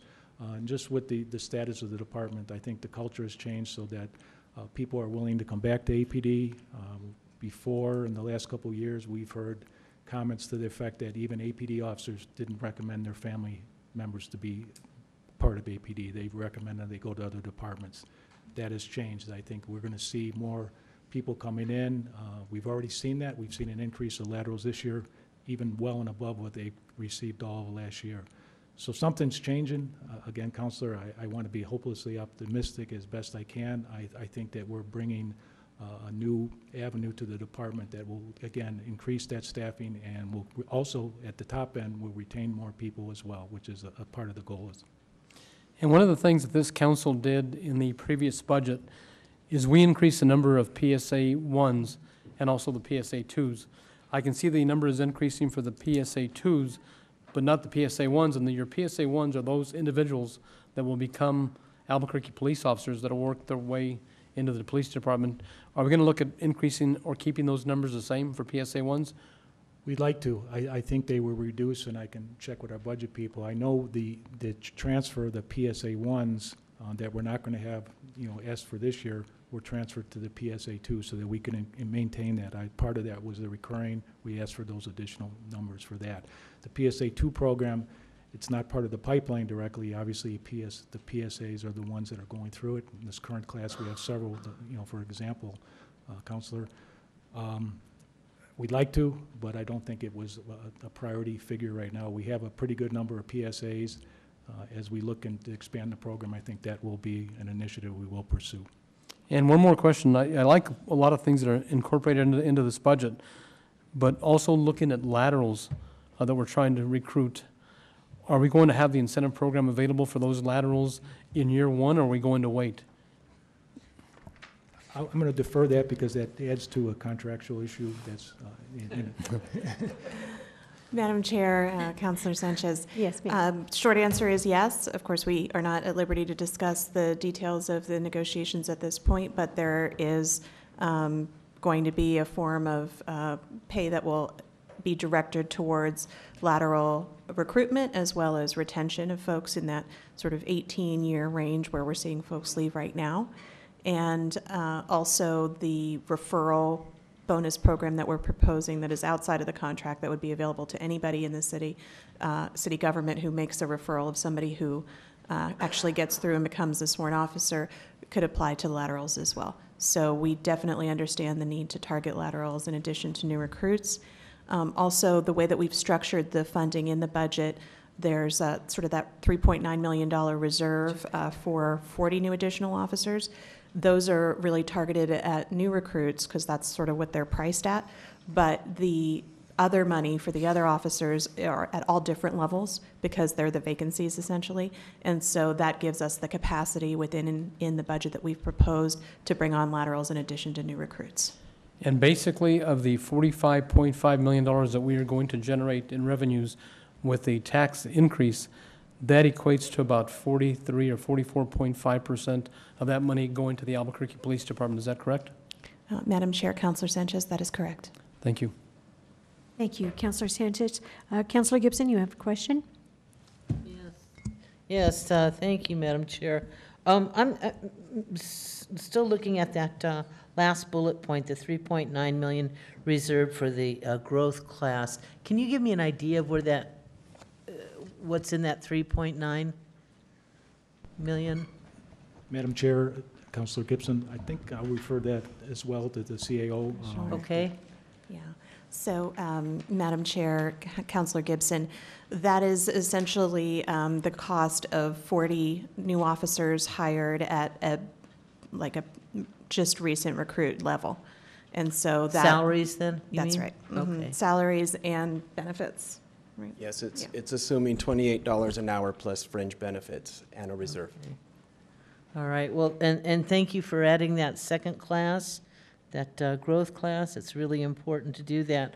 Also, how are we um, uh, recruiting for, for new hires? I know you talked a little bit uh, uh, uh, uh, about laterals, and I have seen billboard, or more than one billboard, north of, uh, uh, north of the city on I-25. But uh, are there any other things that we're doing to recruit? Madam Chair, Councilor Gib- Gibson, yes, we are. Um, We have a new recruitment strategy. We reviewed, uh, did a study with, with the city in terms of um, where we're losing people. Uh, We get a lot of interest on- online. Our line is our best bet right now to, to reach out to the, in this day and age of social media, that's where most of the candidates will, will first get acquainted to the Albuquerque Police Department. Um, from there, we're looking at a recruitment video. Uh, We're looking at uh, actually off-site testing, going to areas. We know there's parts of the country right now where uh, there's not many jobs for police officer candidates, especially in areas where they have satellite um, academies that young, young men and women are going through, coming out, and there's no jobs. We're going to be focusing on targets like that. Uh, We always will continue focusing on military, especially as they're exiting, uh, return their exit uh, interviews of their own careers. Uh, We'll, we'll be doing off-site testing, which will help with out-of-state candidates. And then obviously, all the, the basic job fairs and uh, trying to deal with the local colleges, especially, like I said, our partnership with CNM is critical to that. Um, That's a big pipeline, but even going further with the Explorers, we're, we're talking in high school and making that presence so that we can keep those people as good candidates. So that's the bottom end with recruiting, is that's the many, many areas of pipelines that we're going to try to, you know, kind of reach out to as many avenues as we can. Okay, thank you. You know, I've, I've- said before several times, and I'd really love to see us put more energy into recruit, recruiting from college campuses. You know, whether they, probably giving a preference to wherever they offer criminology degrees or something of that like. But uh, even a liberal arts um, uh, college or university, uh, starting in the state of New Mexico, or maybe regionally. But um, that's how other places do it. And- and Corporations. That's part of the strategy. Obviously, uh, the criminal justice programs in New Mexico with partnerships with, you know, the state university and U- UNM, which is right here, are crucial.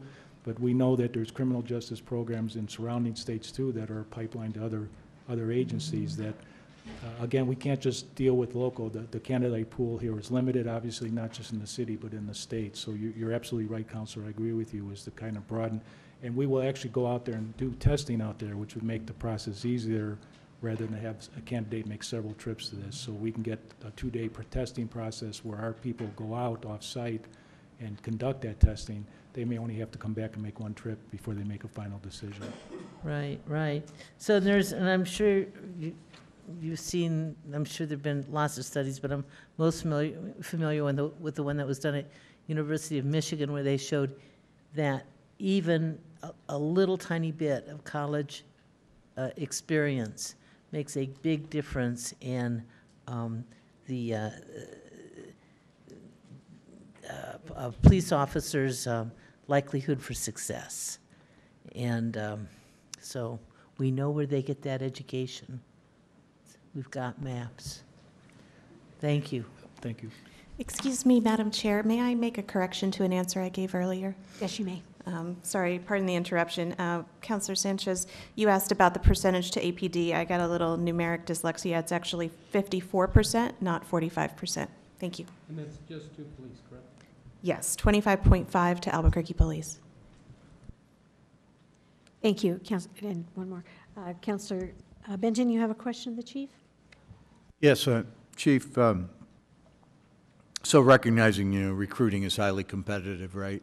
Uh, uh, I like what I'm hearing from you about some of your ideas of of going to these areas where sadly, perhaps they're in decline, and they've got people who want to be officers, so that sounds great. But um, the, the, uh, the question I had uh, had to do with, with just the last few classes. As I recall, in each class, we get a nice, big group of people who are interested and even get through the uh, vetting process of the city. But what's the number that, that graduate on the average? As, just correct me if I'm wrong, I've always seen it to be somewhere between 30 and 40 max, right?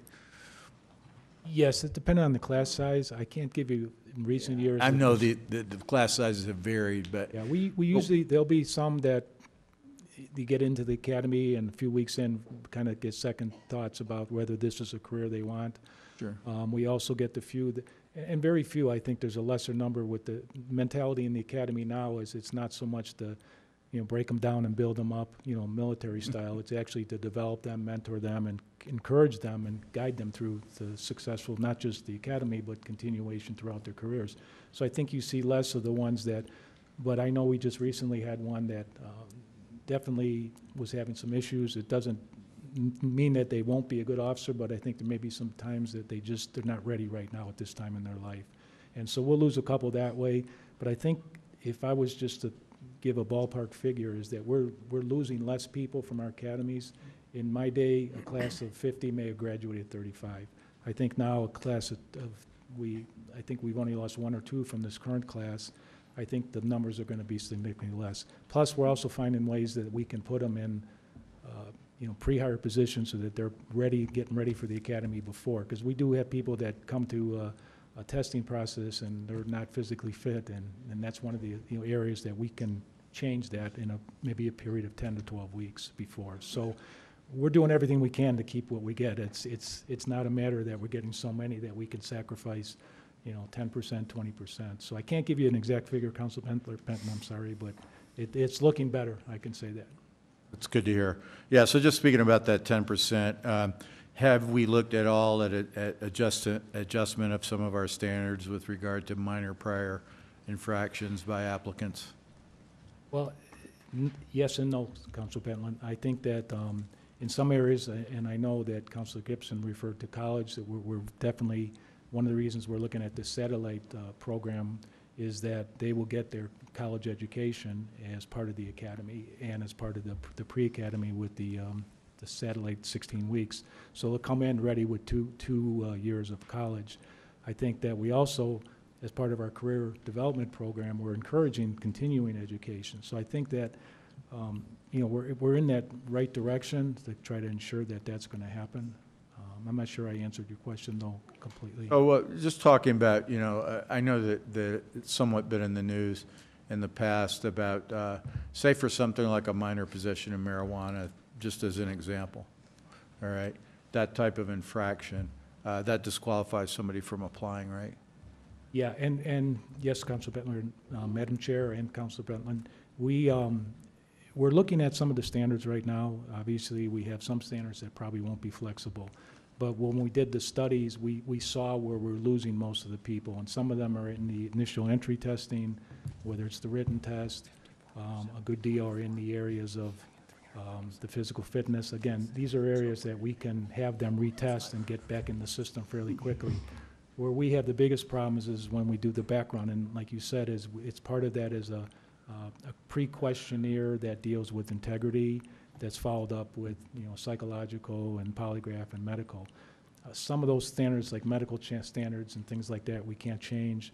But what we're looking at right now is we're having a review at the top uh, with a chief selection process that actually looks at some of those candidates that are being subjectively disqualified for, say, uh, on a polygraph where there's, it's not a, a matter of they, well, they've passed or failed, but it's a matter of it was in question or uh, they couldn't come up with a decision. There's also areas, same thing with the psychologists, we're reviewing to make sure that we're not dismissing people based on, say, one person's opinion. We're trying to take another look at that. So we're trying to, to do that. But the standards that you refer to, uh, as far as timeframes for like DWI arrest, felony arrest, uh, drug arrest, uh, I know you mentioned marijuana. We, we still have those standards in place. Mhm. But again, this is a different society than it was 10 years ago or when I started on the job. I mean, we don't have height and weight requirements, things like that anymore. So could they change? Yes. Uh, We will have to look at that in terms of, we don't want to lower standards either and then get somebody that's going to be problematic down the road.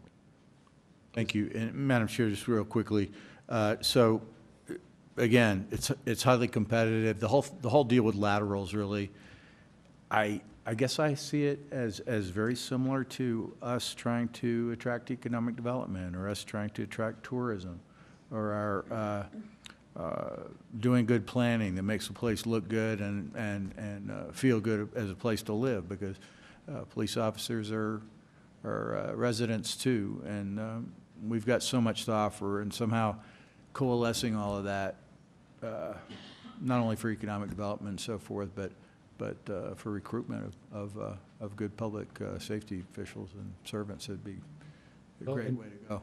Yes, and Madam Council, or uh, Madam Chair and Councilor Benton, one of the things is we, we're going to start targeting people during the summer because that's when, after graduation, you know, people all over are looking for jobs, especially college graduates. But we're going to use some tactics using our own economic situation here is you go to some, like last winter in the East Coast, I imagine a lot of people that are looking to be police jobs don't want to work in 12 feet of snow or cold below freezing. We can use the, the, the, you know, the climate and some of the benefits and low cost of living compared to different parts of the country. When we go out to these sites, this, use that as selling points too. So we are part of the, as they mentioned earlier, we're part of the big, bigger city picture too, and we know police impact that. And so we can attract people that way as well. Good to hear. Thank you. Thank you. Uh, Councilor Borrego, I want to ask, uh, Councilor Pena has a pertinent question here first. Councilor Pena? Thank you, Madam Chair. Um, So I just had a question, uh, it may be for Sarita, but, um, you know, I was working with the prior administration just based on what Councilor Benton was saying about the um, small possessions of marijuana. So um, my concern was a lot of um, young um, minorities were actually being ex- excluded and, and across the board, but they were being excluded because of the, the possessions of, of marijuana. But I was told at the time that they were referring to the state statute. And through the work that had been done, um, the state statute, they were saying here um, locally, we were saying that the state statute read um, for um, um, possession, but it actually reads for convictions. So talking to the prior administration, they were actually um, meeting with the folks from the state to get clarification from that in order to change it because um, what was determined was that we were reading the state statute wrong. Madam Chair, Councilor Pena, there's a good point there. I- I think the state, the DPS, that kind of mandates some of this, but each, each community here has their own standards. Um, I think with marijuana possession, I know we've just made it a civil penalty for small amount. I don't think that's as much as the issue as the, the recency of consumption or the amount of consumption uh, over the years. I mean, I think that we pretty much find there isn't too many candidates here that haven't experimented with marijuana. If we eliminated, we would probably have no candidates in the future. But I think you're, you're on track with, as far as changing that particular standard. Mhm. Obviously, the hardcore drugs and addictive drugs, we, we probably have no, Well- no wiggle room there. But I, I think there are some areas, I mean, again, same standards with uh, alcohol use and things like that. It's not a matter of that they drink or they were possession alcohol. We get a few that have minor in possession charges. They grow up, get out of college, and they, they're very responsible. But if they're still drinking and drinking heavily, that's going to impact on, on the quality of the, the police officer candidate. So some of these standards are subjective, but I think you're on track as if it's based on state law or some type of state mandate through the DPS in terms of what would be highly recommended, or even national standards, we'd be more than willing to look into that. At this point, I can't answer what previous administration did or even where we're, we're going to go with this because we're still in a flux. Madam, Madam Chair, if I could just follow up with that. So I'd like to sit down and meet, maybe we can sit down and go over some of the information that, that I have currently, because I, I was told, because there's lots of kids, I've received calls, constituents that, you know, that especially from, from the area, we had a lot, we had a, a job fair um, for police recruitment in, um, at Atrisco Heritage, and a lot of those um, students or, or young men and women were actually being excluded because of that. And I received all those calls, so I started this whole discussion. And what I was told is that we had to follow state statute, and that at the end of the day, through all those discussions, is that we were reading it wrong. So I'd like to sit down and just and meet, because I, I think that's something that we really need to look at. I think it's a, it's, um, I think Sarita wanted to say something. Ms. Nair. Uh, Madam Chair, uh, Councilor Pena, uh, we agree, and there, it's not just the, the marijuana, but also there's the credit check, there is the literacy and numeracy requirements. We see that we're losing candidates at each one of those stages, and in some cases, the answer might be that we might lose them for that class, but we shouldn't lose contact with them over the long run. If we can connect them with resources that'll help them rehabilitate their credit for the look-back period, if we can help them connect with an adult education program, if we can stay in touch with them so when that three or five-year look back on the marijuana con- uh, possession goes away, we, we still know who they are, and if they still want to be a police, we can have them join the force. And, and also looking at using the PSA programs as a way to stay connected to those folks who have expressed interest. And so um, we are working with APD on, on all of those issues and kind of reevaluating in that light. And um, I'd be happy to facilitate a meeting with the, the chief and others on that. And Madam Chair, if I could add just a bit to that, we're definitely um, striving for diversity, Council Pena. Um, And as part of that early intervention is, is we can reach out to those young, young kids and kind of explain to them how, when you go to college, it's student loans and credit cards sometimes will cause problems later in life. Um, Sometimes that party, partying, certain things that they do can actually bar them later. I know we put the restrictions in terms of, you know, do not apply you if you have done this. But I think that this, this is definitely an area where we can attract more candidates. And again, it's not so much those issues as, as it is, we look for, uh, you know, different types of characteristics, in- integrity, char- uh, service orientation, some of their own, you know, accomplishments in their life, and then their, their, overall maturity. Those are more important in terms of success as a police officer than, say, a mistake that they made when they were 17 or 18. And so I, I, I agree with you, and I would welcome also being part of that meeting. And our academy uh, direct, or um, commander, that is the director of the academy, is here as well, and I'm sure he would want to be part of that. Councilor Pena, and then Councilor Thank you, Madam Chair. I apologize for that. But just one last comment is that I, you know, I agree, Sarita, you you know, providing them the resources to, to help with, um, you know, if they have um, bad credit, that we don't want to lose them, we want to maintain contact.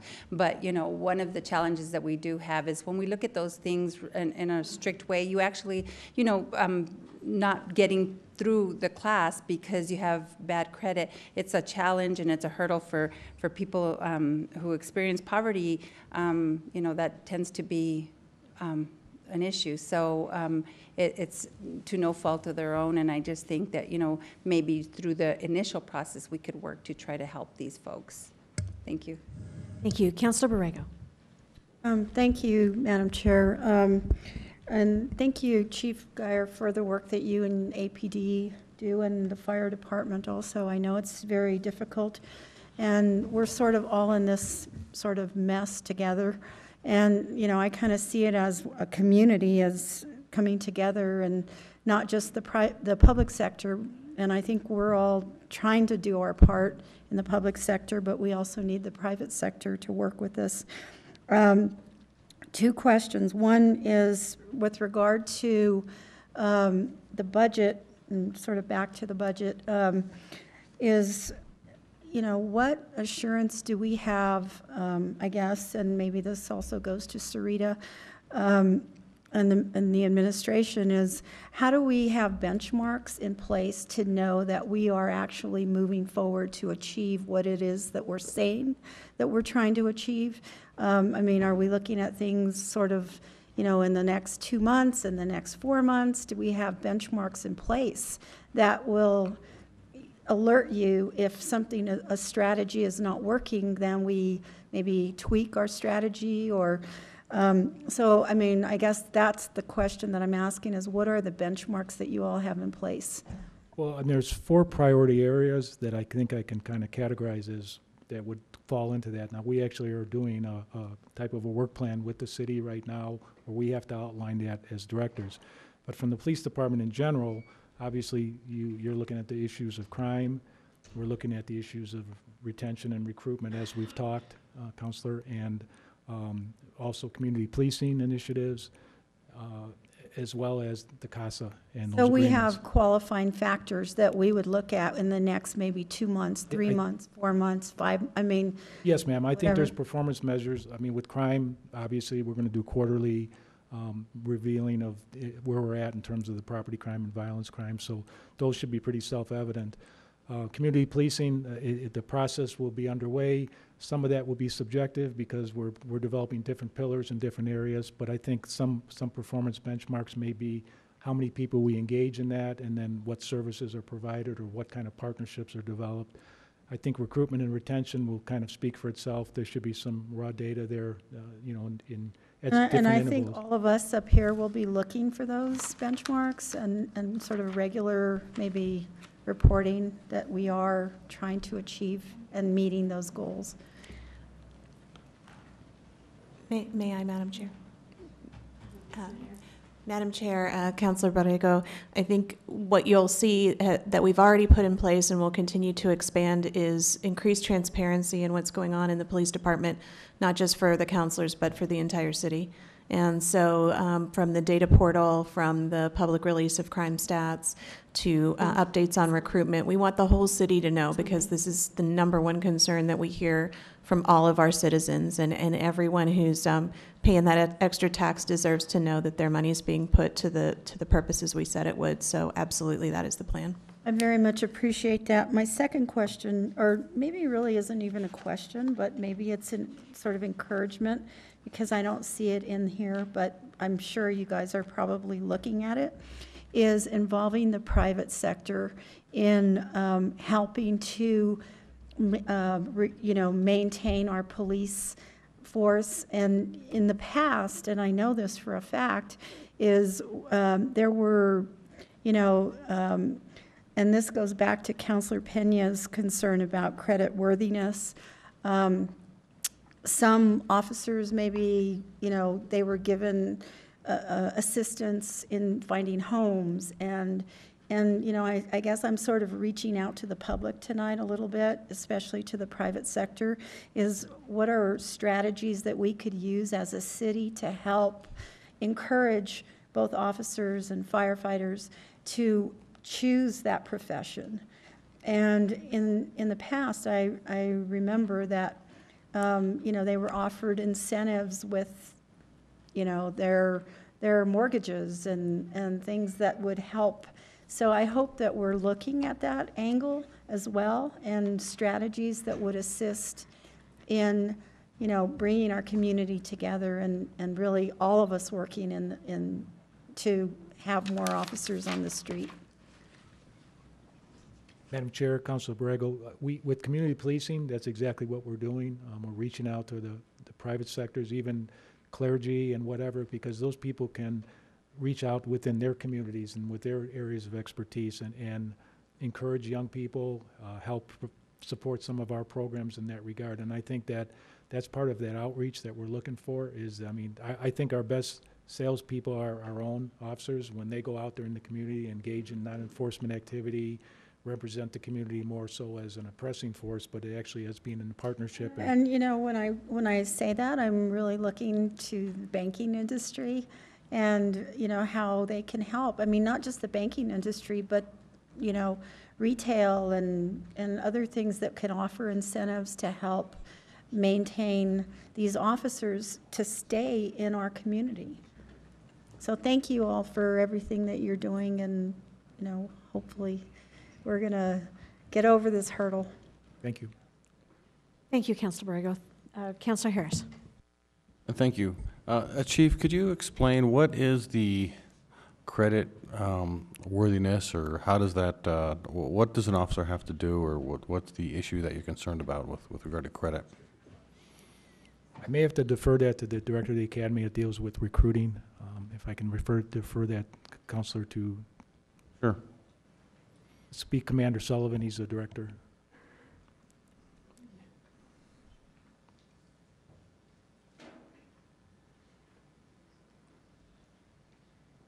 Good evening, Cam, Commander, you, it's your lucky day. Good evening. Lucky, right?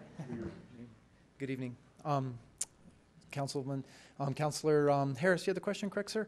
Yes, uh, what, what are the criteria for credit worthiness that would, uh, or could be used to exclude a a cadet or candidate? Right, good, good, good question. We don't have like an exact number, like, you know, uh, 600 or whatever on your credit rating. What we do is we look at an overall credit score, an overall payment history, just to show financial responsibility. So it is a little bit subjective, I'll be honest with you. And in my time as the academy director, and I used to do chiefs selection prior to that, I've never actually experienced uh, releasing a candidate based on the credit worthiness alone. You know, if we saw that combined with several other things that would be red flags, but usually we're just looking for a pattern of responsible financial independence. We're hoping that the candidate doesn't have several outstanding write-offs to bad debt and things like that, because the ultimate fear would be, of course, as a police officer, you're entrusted by the community and you're supposed to be, you know, above that and a pillar of the community. I don't want to send out an officer who could potentially be tempted to do something unethical or even illegal. So, one of the ways that I've seen in- in, um, in my profession also is that uh, with regard to security clearances, a lot of times they'll actually encourage people to file bankruptcy because then they have zero debt, and then they're not subject to temptation, which I think is what you're talking about, right? right, we wouldn't get that in depth with it, to be honest with you. And I, I know because I have a security clearance, so I, I kind of understand what you're talking about. But a, a bankruptcy wouldn't necessarily be a pro or a con thing. Debt, having debt is okay, and we understand that. And I, I sit through hundreds of cadets over the last few years, and it's it's good to see that you have a house or a car and you're making your payments on it. That's fine. We've even eh, accepted candidates who had some write-offs due to due to poor debt. It's if we see a massive history of an individual who's not clearly not paying their bills and is living outside their means. You know, you, you see somebody who works at a you know a restaurant, for example, but they're driving a hundred thousand dollar automobile. We're probably going to ask them, "How are you paying for that automobile?" You know, and they may say, "My, parents helped me." Okay, that's great. That, that's fine. We're, it's usually more something that we're going to ask for explanation on and just kind of if fine tune it a little bit.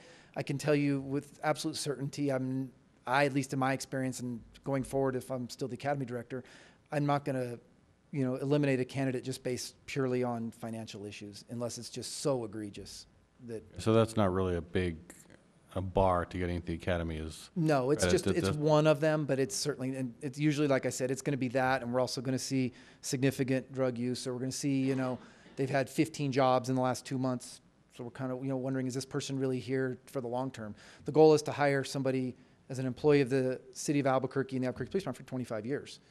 Yeah, We, the biggest issue we've had, and the chief kind of alluded to it, is we're hiring folks, they're going through what is one of the highest rated academies in the nation, and they're leaving. Because they're taking our training and then they're going somewhere else.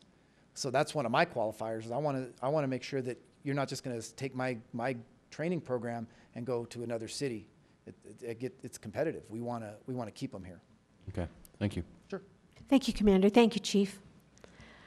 Uh, Mr. Romero, I think that's it, Chief, unless you have a statement you'd like to make? No, I'm uh, very honored to be here and representing the department, and we appreciate your sup- continuing support. Thank you all. Thank you, sir. Thank you, Madam Chair. Mr. Romero? That's one down. One down. I think the big guns are down. Madam Chair, um, next up is fire with uh, Paul Dow as chief. The proposed general fund budget for the fire department is 82.9 million. They have 730 full-time equivalent positions. Um, The proposed budget for fiscal year 19, the mayor's proposed budget includes 3.1 million to implement the mobile integrated healthcare and community outreach program. This program will include 19 new full-time positions. There's also an increase of 555,000 for internal service costs, technical adjustments um, associated with uh, risk fleet and communications. And so with that, I'll turn it over to Chief. Good evening, Chief Dow. Are there any questions of the chief? Madam Chair, councilors, thank you. Thank you, chief. We appreciate it. You're excused.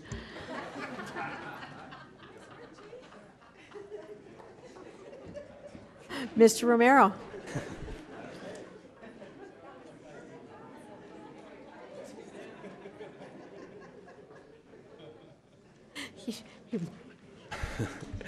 Madam Mr. Chair, Romero. uh, next up is Family and Community Services.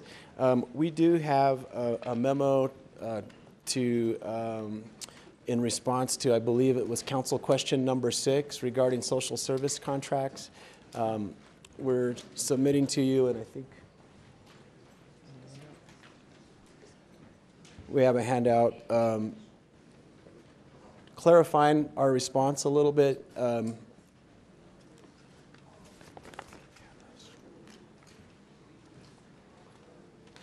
The question from council was provide a list of fiscal year 18 social service contracts that are not being renewed in fiscal year 19 and a justification for the termination.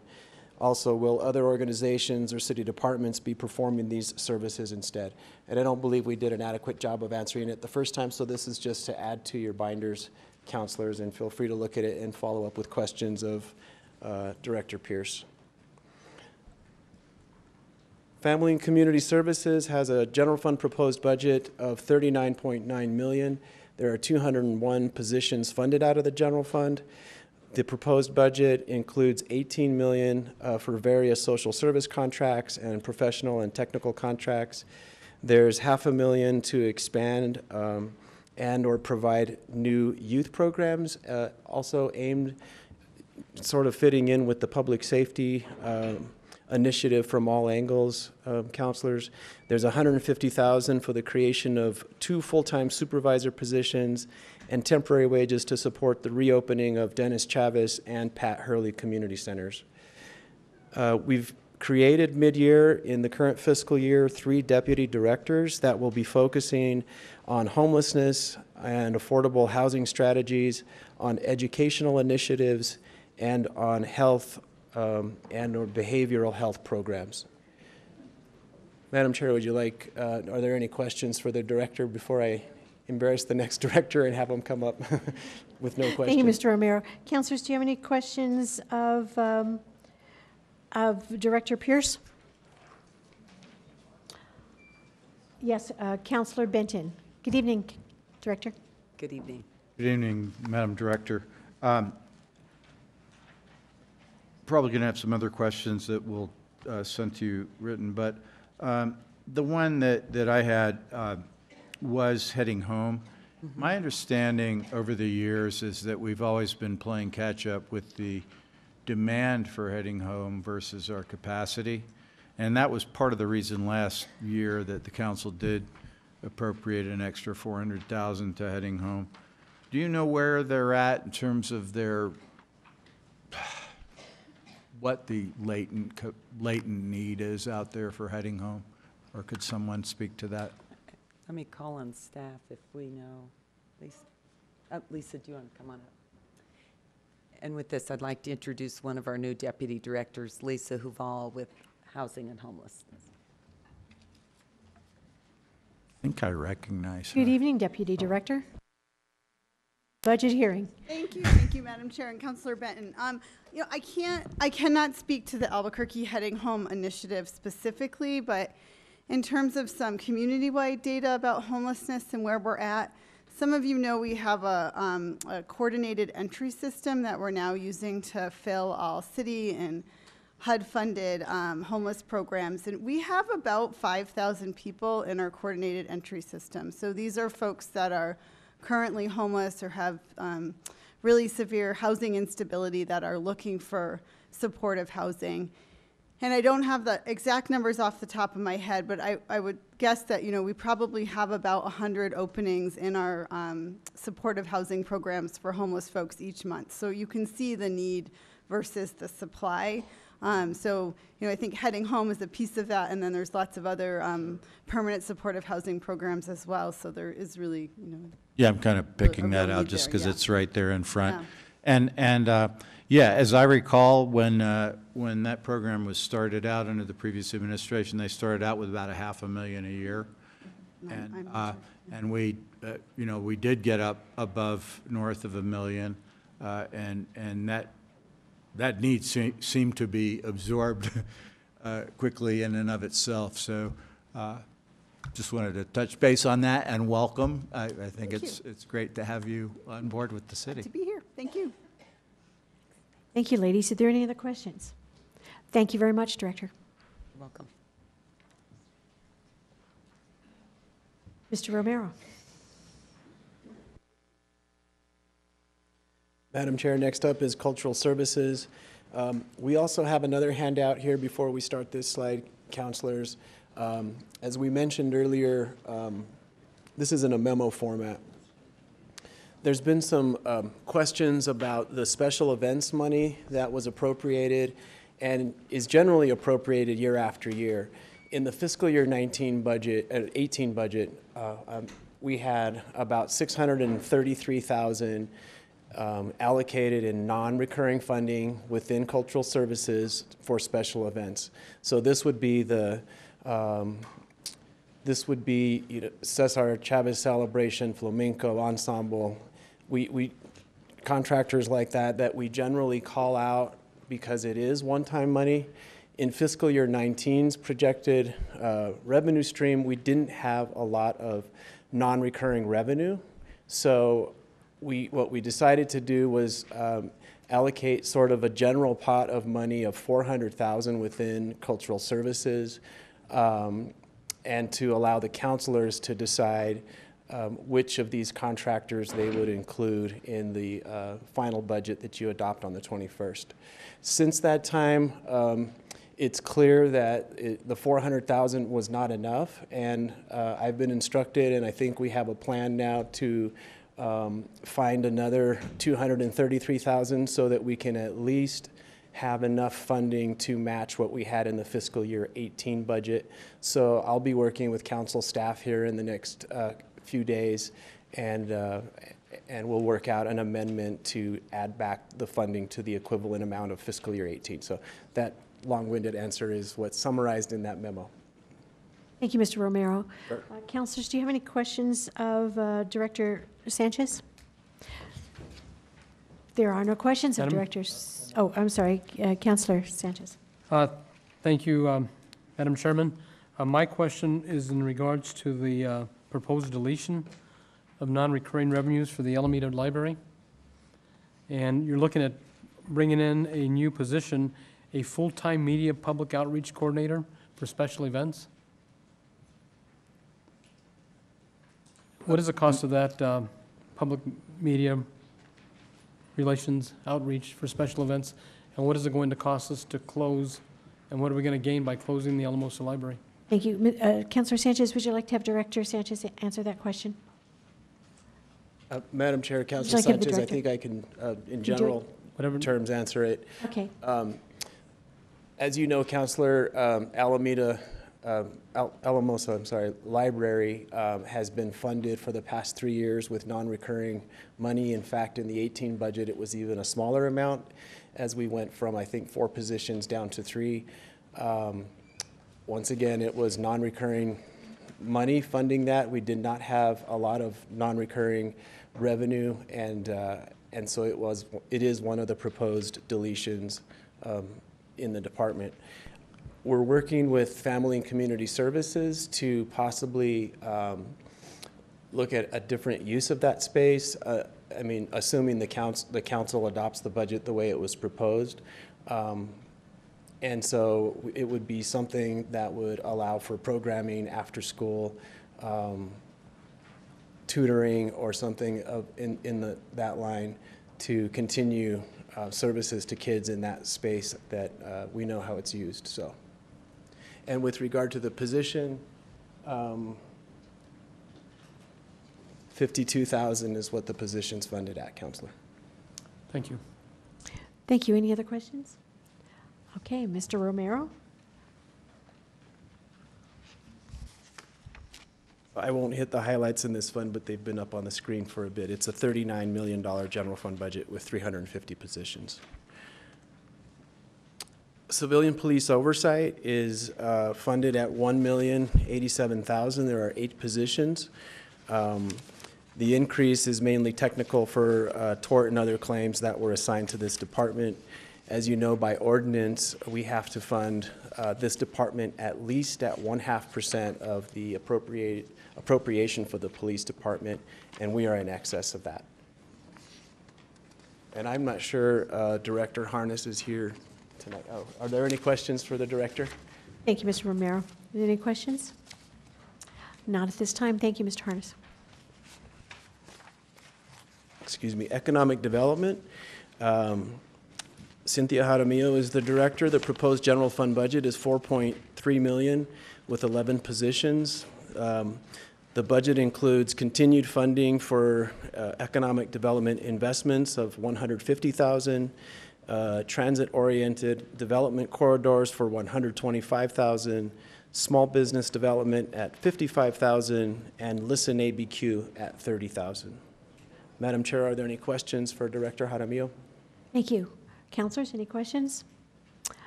I don't think so. Thank you, Mr. Wait, wait, yes, uh, Councilor Benton. Uh, Mr. Romero, in- the past, um, we funded uh, the Barelas Main Street, uh, South Forest Street, uh, Main Street, which was, uh, which remains uh, in formation, and we had funded that at uh, $40,000 the past couple of years. Um, I think they're still doing good work. I think they're still working towards uh, their, their bigger certification, if you will. Um, um, What's the story with that one? We, it's not in the budget currently.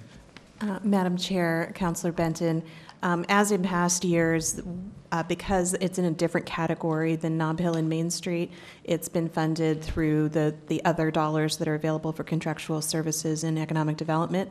And so for consistency, until they complete that certification, we think this is the right approach of, of keeping these main streets in this sort of line itemed, um, specifically named contracts in the non-recurring budget. But then we, we fully intend to continue that relationship with uh, Main Street. Okay, thank you. Thank you, Ms. Nair. And to add to that, Madam Chair and Councilor Benton, it is on the list on the memo that I just handed you. Yeah. Yes, Councilor Borrego. Um, I just have a general um, observation and kind of comment. Um, And it, it's both for economic development and um, cultural services. Um, I noticed that there are a lot of um, programs in the downtown area and the inner city neighborhoods. And, and I very much appreciate that because I think that to have a healthy city, we need to have a, a healthy downtown. But I would like to see um, at some point how some of these programs that are being funded can sort of, um, um, you know, be filtered out into some of the outer areas of the city. And um, it maybe, you know, and I appreciate that we have Summerfest on the west side. Um, But, you know, there are, there are a lot of people that come downtown, but then there are a lot of people that don't. And I would like to see how, um, you know, uh, and I, and I, for example, the other day I met with, I think it was 516 Art, is it 516 Arts? And I asked them, um, you know, how could your program be expanded to my district? Um, Possibly, you know, to find sort of a, a core area in my district or in districts like mine that are sort of out of the center city.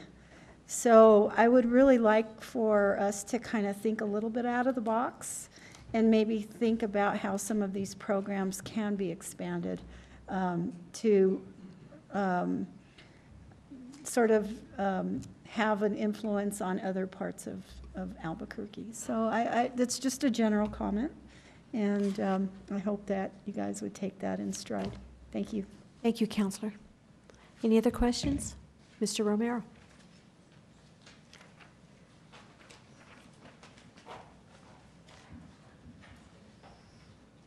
Next up, Office of City Clerk. Um, Trina Casados is the acting city clerk.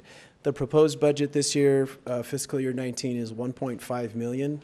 They have 17 general fund FTEs. Um, There was one-time funding in fiscal year 18 that goes away for 917,000. That was for the election that was held just last fall.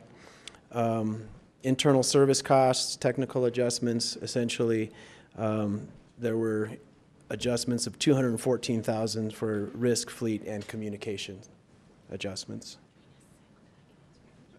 Are there any questions for city clerk? Uh, Ms. Casados is Councilors? ill tonight, but our CAO can answer questions. CAO can answer questions. Okay, Councilor Harris. Yes, thank you. Um, At the, uh, I guess the last meeting, intergovernmental um, relations meeting, uh, we were, learned that th- there might be some potential litigation, that we have to figure out what the city clerk is going to be doing if we're actually going to be running our own elections or not. Um, And that, of course, affects our budget.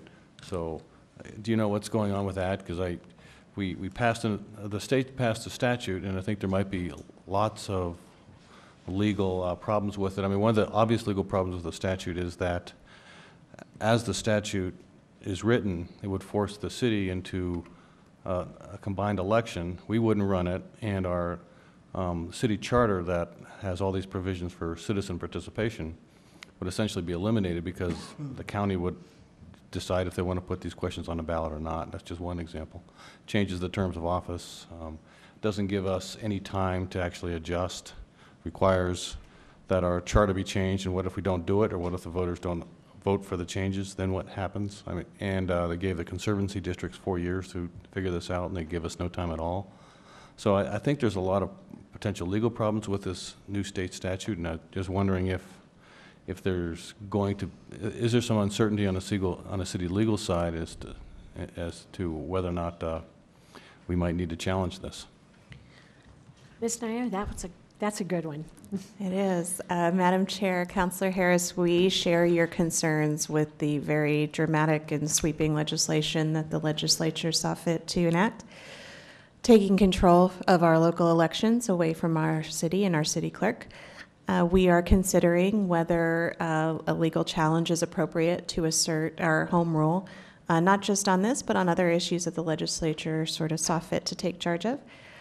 Uh, That said, um, we also have to proceed on a parallel path to prepare in case we do need to make those changes to our charter that would impact um, some, some sort of like mechanical things, like the terms would start in January 1st instead of December 1st, as well as some more, you know, substantive issues where, that relate to public finance deadlines as well as uh, the campaign deadlines themselves. So we are going down both of those paths now in, in efforts led by our city attorney. Uh, how that impacts budget specifically is that um, we haven't really tinkered with the budget on the premise that we will um, be required to follow the state statute. And since we're in an off year, we, we have less of a budget impact than we would if we were in a, an election year. Um, we probably will need any cushion money that we would have had left over for elections to undertake the legal actions we're going to need to take to comply. So either we're going to win in some forum and we're going to need that money for elections, or we're going to lose and we're going to need that money to do the reforms that you mentioned that will be necessary to comply with the legislation. Uh, in addition, the city clerk plays that really important role in our Inspection of Public Records Act um, coordination. And um, as you're all aware, for the past few years, we've gotten hit in court a whole bunch of times on our on our ability to comply with IPRA. And so we also see a lot of uh, room to improve those processes. And um, would definitely look to use any money left over uh, from a change in elections to improve our IPRA process. I think we'd see long-term gains, or, or at least um, uh, balance, from our risk program. Thank you. Thank you, Ms. Nair. Any other questions? All right, Mr. Moreau, you're almost there. Madam Chair, Parks and Recreation is the next department. David Simon is the director. The proposed general fund budget is uh, 34.9 million with 259 general fund positions. There is uh, CIP construction, crew is moved from municipal development. That's 24 positions that increase this department's budget by 1.5 million. There's an increase uh, in the subsidy to the Golf Operating Fund of 349,000 in fiscal year 19, and um, we also made an adjustment in fiscal year 18, given the current projection, projection of green fee revenue. So it's needed to shore up the fund this year as well. In fiscal year 19, the budget also includes 200,000 to expand um, and/or provide new youth programs, also aimed at attacking public safety or addressing public safety issues in the community, and 108,000 for two positions to the expanded Los Altos Aquatics Facility for capital coming online in fiscal year 19. Are there Thank any you. questions for Director Simon? All right, Councilor Harris. Yes, thank you, Mr. Romero, and something I guess maybe could get back to me on. One thing that I've thought of uh, recently, and I talked to Councilor Sanchez at a recent bu- budget briefing with Ms. Yara about, is that uh, what we have in our parks uh, seems to be more and more is vandalism and vagrant problems, uh, camping, and, and other activities that go on that, that are just real unfortunate. And one of the things that could be possible is having uh, uh, city security guards. Uh, Maybe not that many, but there, there may have to be many if you're doing this citywide. But maybe they could be one, or maybe they could uh, do teams of two, and at night, maybe they could just go by and visit the parks and, and uh, keep them safe. And if people are doing things in those parks that they're not supposed to do, then they could uh, get them to stop. Uh, One of the things that uh, affects particularly Councilor Gibson, but me as well, is the, uh, I think, uh, they did a report of, of uh, police reports in parks, and there are like 52 incidents in parks, and, and over half of those are at Los Altos Park, like 20-some um, police reports in one park, uh, which used to be partially my district when the redistricting, it all went uh, Councilor Gibson's district, but I kind of claim it in a way because it's right on the border of my district. And then we have Singing Arrow Park, which is a problem, but I understand in Councilor Davis's district, you have Wilson Park, which is, it can be, it can be rough, um, for, you want kids to be able to go to school and, and feel comfortable in that place, and a lot of times they don't, or they can't. So I'm wondering if you thought about any of these kind of security measures that might be useful, and maybe we could do a, a- something to put in the budget to study that for next year, maybe we can add some funds in this budget. And, and I see we have our director. Madam Chair and Councilor Harris, I'll let uh, Director Simon answer. Simon, thank you for being here. Good evening, uh, Madam Chair and uh, council members. Again, I appreciate the honor of uh, serving the citizens uh, in this position and your interest and support for parks and green spaces. Uh, We, first of all, I have to say I'm very, very proud of the efforts of the parks staff who uh, do an excellent job with the resources they have to keep our parks clean and safe. They are working really hard to do that. So as we know, you know, there are manifestations of social issues that show up in parks. We're just a reflection of the society at large. So uh, this is a very, very important issue for me personally to try to tackle. So we're discussing the, with the administration, with APD, with our partner uh, departments such as family and community, uh, and of course with the council, a number of both physical and pro- programmatic approaches we could take to try to make the parks uh, clean and safe. Yes, Councilor Harris. Yes, and in particular, I'm just wondering if you're considering city security guards, because a security guard doesn't uh, cost nearly as much money as a sworn officer. And it's perfectly appropriate to use a security guard for city property. So I'm just wondering if that's in your mix of things you're considering. Uh, Madam Chair, Councilor Harris, uh, the, the short answer is yes, and, and we also think this might be a good use for some of our police service aides, um, who, when there's not big events, sometimes we don't always have places to call them out. I would just also like to add that uh, we, we've started a public safety coordination meeting of, of the key public safety departments um, three, three weeks a month. And uh, Director Simon actually just asked to become a permanent member of that meeting. People don't usually ask to be in more meetings, uh, but he did because he really grasps what a huge part of that job, uh, of his job is uh, public safety. And so I'd just like to, to acknowledge that he is really focused on that. Thank you, and, uh, yeah, I know, I was trying to get rid of you first. Coun- Thank you, Madam Chair. Um, We had discussed, oh, a while ago with the the former uh, Parks Director, um, about possibly putting cameras in there at the park. Um, They're pricey. I think they're about seventy-five, eighty thousand dollars camera, oh, trailer, trailer-mounted cameras. So, um, have you considered that, or has there been any recent discussion about, about using, uh, trailer-mounted cameras? Madam Chair, uh, Councilor Gibson, you know, the, the film industry is doing great in New Mexico. So anything involving more cameras is probably a good idea. Um, Yes, we have already installed uh, new camera security systems at three facilities recently using a state grant. We started with some of our aquatic pool facilities. So we've installed cameras at Wilson Pool, at Montgomery, and at the Sunport uh, Pool. And it's too early to tell um, just how effective they'll be in deterring crime. Um, I just happen to think they're one tool in what has to be a comprehensive approach. Sure. Um, And they generally have run about $30,000 per site um, when you install cameras like this. Yeah. So these would be installed like on the, on the, the light, Yeah, we, You know. you, you, we really assess each site, uh, councilor, to see where the best kind of coverage and prevention effect would be from cameras, and you deploy the cameras appropriately. Yeah. See, and- But and we, that's- we've already seen some, I guess I'd say it's too early to tell. We'll have to have a whole summer to really observe the Mm-hmm. efficacy of these.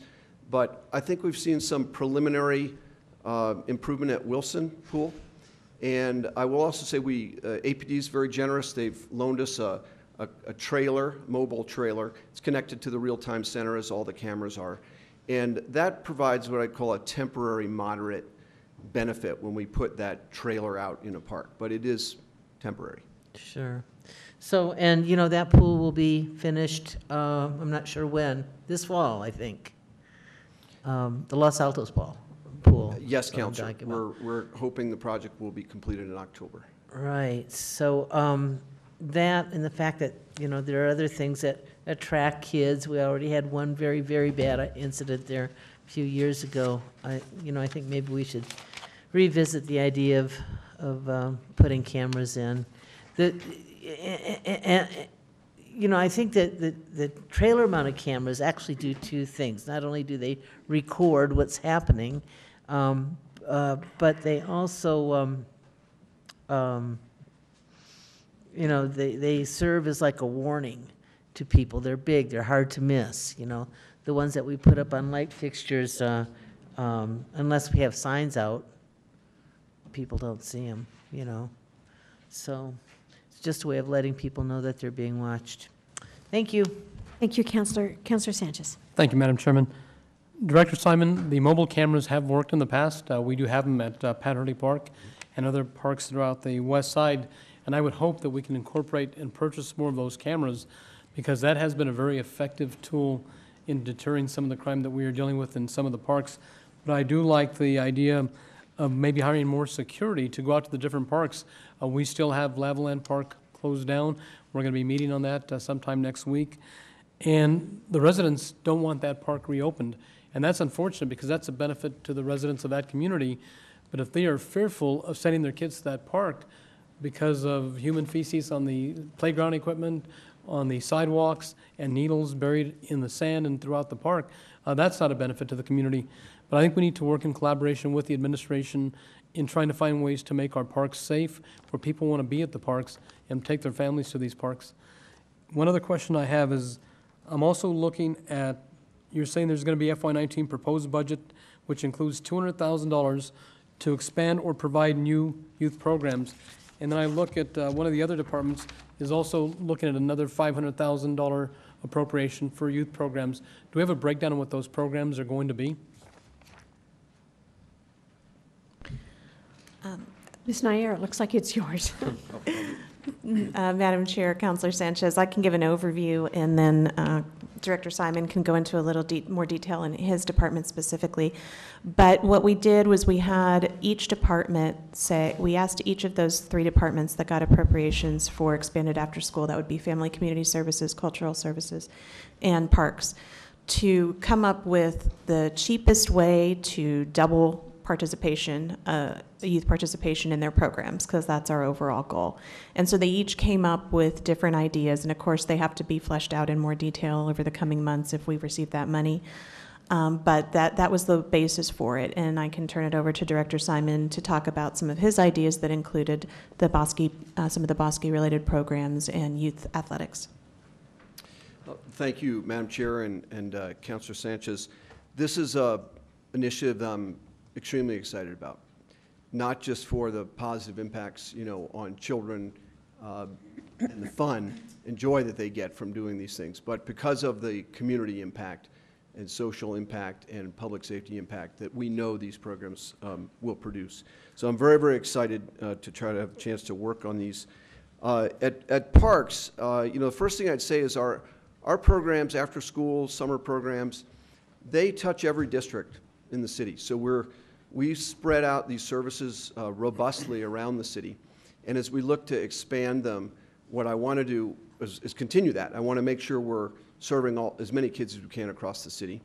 Uh, also, uh, I want to, I think the smart, prudent approach is to build on uh, existing effective programs where we can scale them up. And maybe we'll pilot a few new ones for effectiveness. But uh, for us, we can easily scale up programs such as aquatics programs, swim lessons. Personally believe every child in our city should learn how to swim. We have an outstanding bicycle safety uh, and awareness program. This is an easy way to scale up um, very, very good programs for kids. We can scale up some sports programs using the existing facilities we have, tennis, pickleball, uh, the athletic fields. And then I'm very, very excited about uh, continuing our work to introduce more children to nature. So uh, we had some, heard some earlier speakers on that, and we have a great program to bring kids into the Bosque, and we want to pilot a little bit more of that. And those can be prioritized in areas where uh, are areas of the city that are a little bit more underserved and don't get those opportunities. Thank you. Thank you. Uh, Councilor Borrego?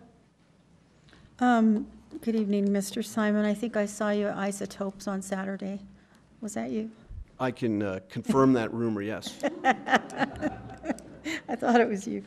Um, I just wanted to talk a little bit about some of the um, concerns in my district particularly.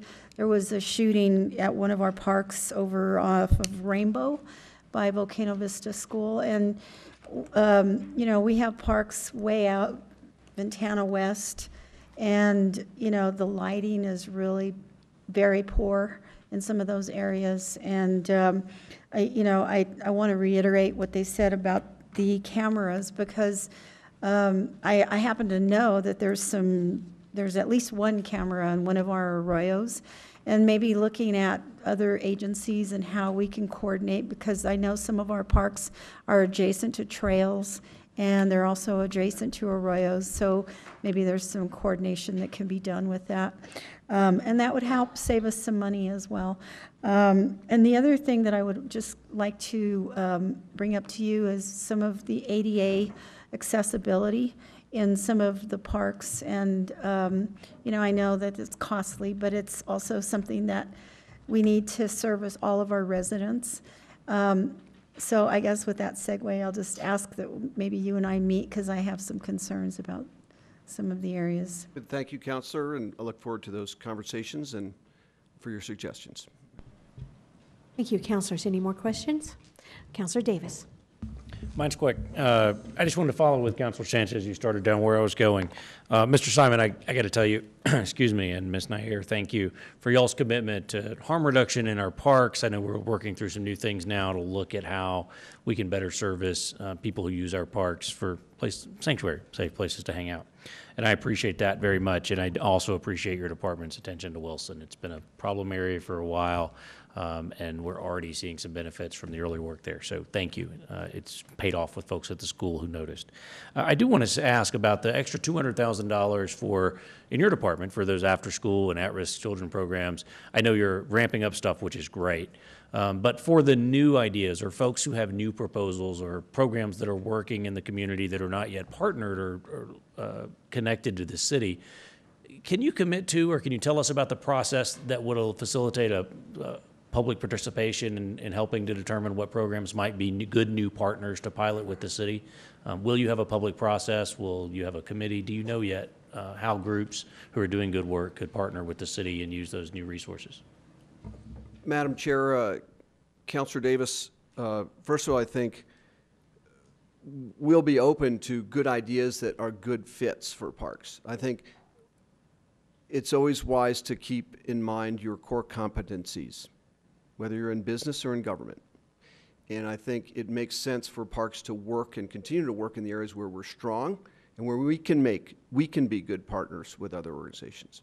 So I think, uh, so part of the answer to your question depends on funding as to what kind of process we take to allocate whatever dollars are provided. And I just haven't been able to get as far into this as I need to be to ask this question, and we can do it later. Do you know, Mr. Simon, out of that 200,000, what do you expect to be sort of ramp-up programs and what percentage you intend to be new? Uh, If I may, uh, Madam Chair, Councilor Davis, uh, we, we gave uh, the directors in those three departments a mandate to come up not only with the, the cheapest, but the quickest way to scale up. And so, uh, you know, just to be fair to them, we did not give them a a whole lot of time to come up with an elaborate plan. Um, But, you know, you you know, uh, especially Director Simon will. I think in terms of a uh, more uh, public process, I think it's an excellent idea. We want to get more kids in the programs this summer. So we're going to prioritize those efforts. And we can also use this summer to sort of expand our, our view and our net and involve the public in things that might be more appropriate for after-school, for-school programs during the school year. But uh, assuming we get the funding this summer, we're just going to um, ask Director Simon to hit the accelerator on the things that we can, we know we can do and do well. Great, thanks. Thanks, Dave. Thank you, Ms. Nair. Are there any other questions? All right, uh, Mr. Romero.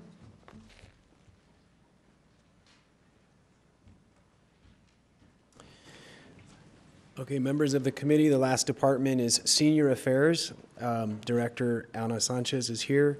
The proposed general fund budget for Senior Affairs is 10.3 million, funding 64 full-time equivalent positions. We have the creation of three full-time term positions to prepare for hosting the 20, 2019 National Senior Games. There's also a one-time appropriation of 2 million in their budget for the same purpose and 376,000 in the transfer to Fund 250, which is where the majority of the employees supporting the AAA grant are housed. And with that, um, are there any questions for Director Sanchez? Thank you, Mr. Romero. Are there any questions? Councilor Sanchez. Thank you, Madam Chairman. Uh, I have one question, and in the earlier discussions, they said that the rates and the fees were going to be going up for our seniors. What is the current fee right now? Is it $14 annually? Madam Chair, Councilor Sanchez, the fee currently stands at $15 And it's going to be going from 15 to 20? to 20.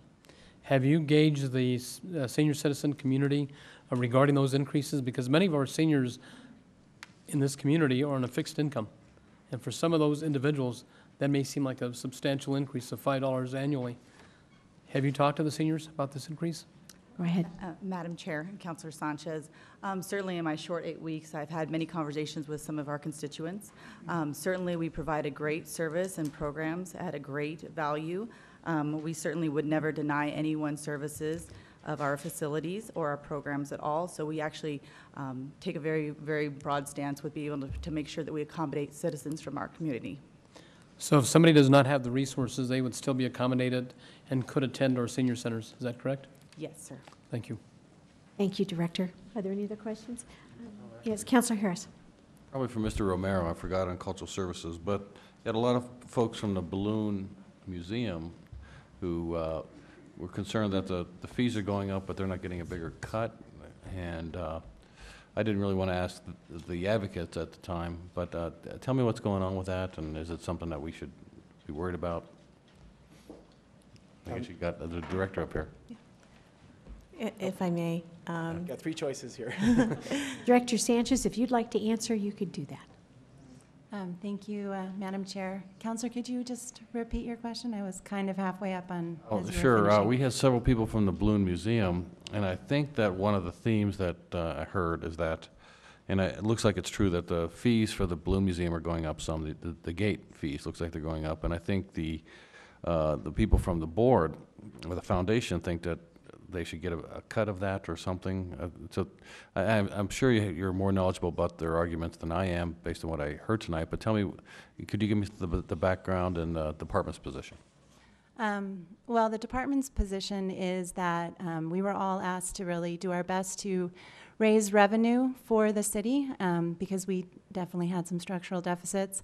And so that was uh, a place that we could uh, raise revenue at both museums. Our museums are very much under in terms of admission fees compared to other cities in the region. Um, And I think it's, it's natural that the advocates of that museum want some of that money to come back to them. I think it's um, just that simple.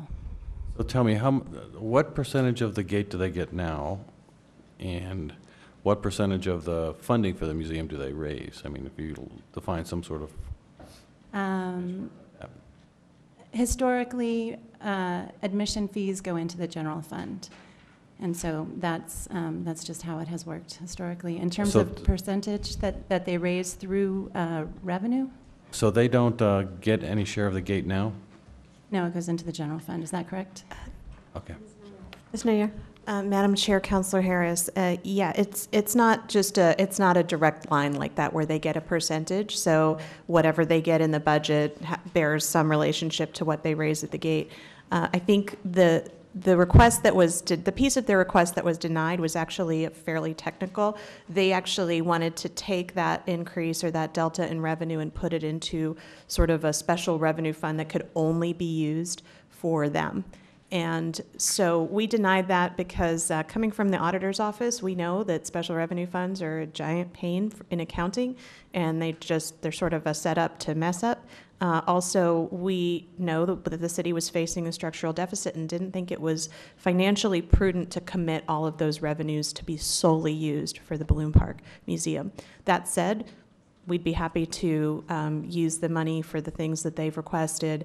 It's just a, a matter of whether it's uh, solely designated for that purpose or not. We denied the, the sole designation, but we didn't say that we wouldn't spend that money at the museum. Okay, thank you. Thank you, Councilor Harris. Thank you, Director. We still have here Director of Senior Affairs. Are there any other questions? I guess not. Thank you. You're doing a very good job. Thank you all. Mr. Romero, do you have a closing on this? Madam Chair, th- thank you very Okay. much. Um, I just also want to recognize budget staff who've put in a lot of long hours and weekends, and uh, thank you for your support. We look forward to talking with you again on the 10th. Thank you, Mr. Romero. So, councilors, I, yeah, I would like to move deferral of R24 appropriating funds for operating the government of the city of Albuquerque for fiscal year 2019, beginning July, okay. Move deferral to det- May 10th. There's a second. I have a motion and a second. All those in favor, say yes? Yes. Opposed, motion carries. Also, I would like to move deferral to May 18th of R25, establishing a one-year objectives for the city of Albuquerque. All those in, I- do I have a motion, a second? Second. I have a motion and a second. All those in favor say yes. Yes. See you all on May 10th. Thank you. The meeting is adjourned.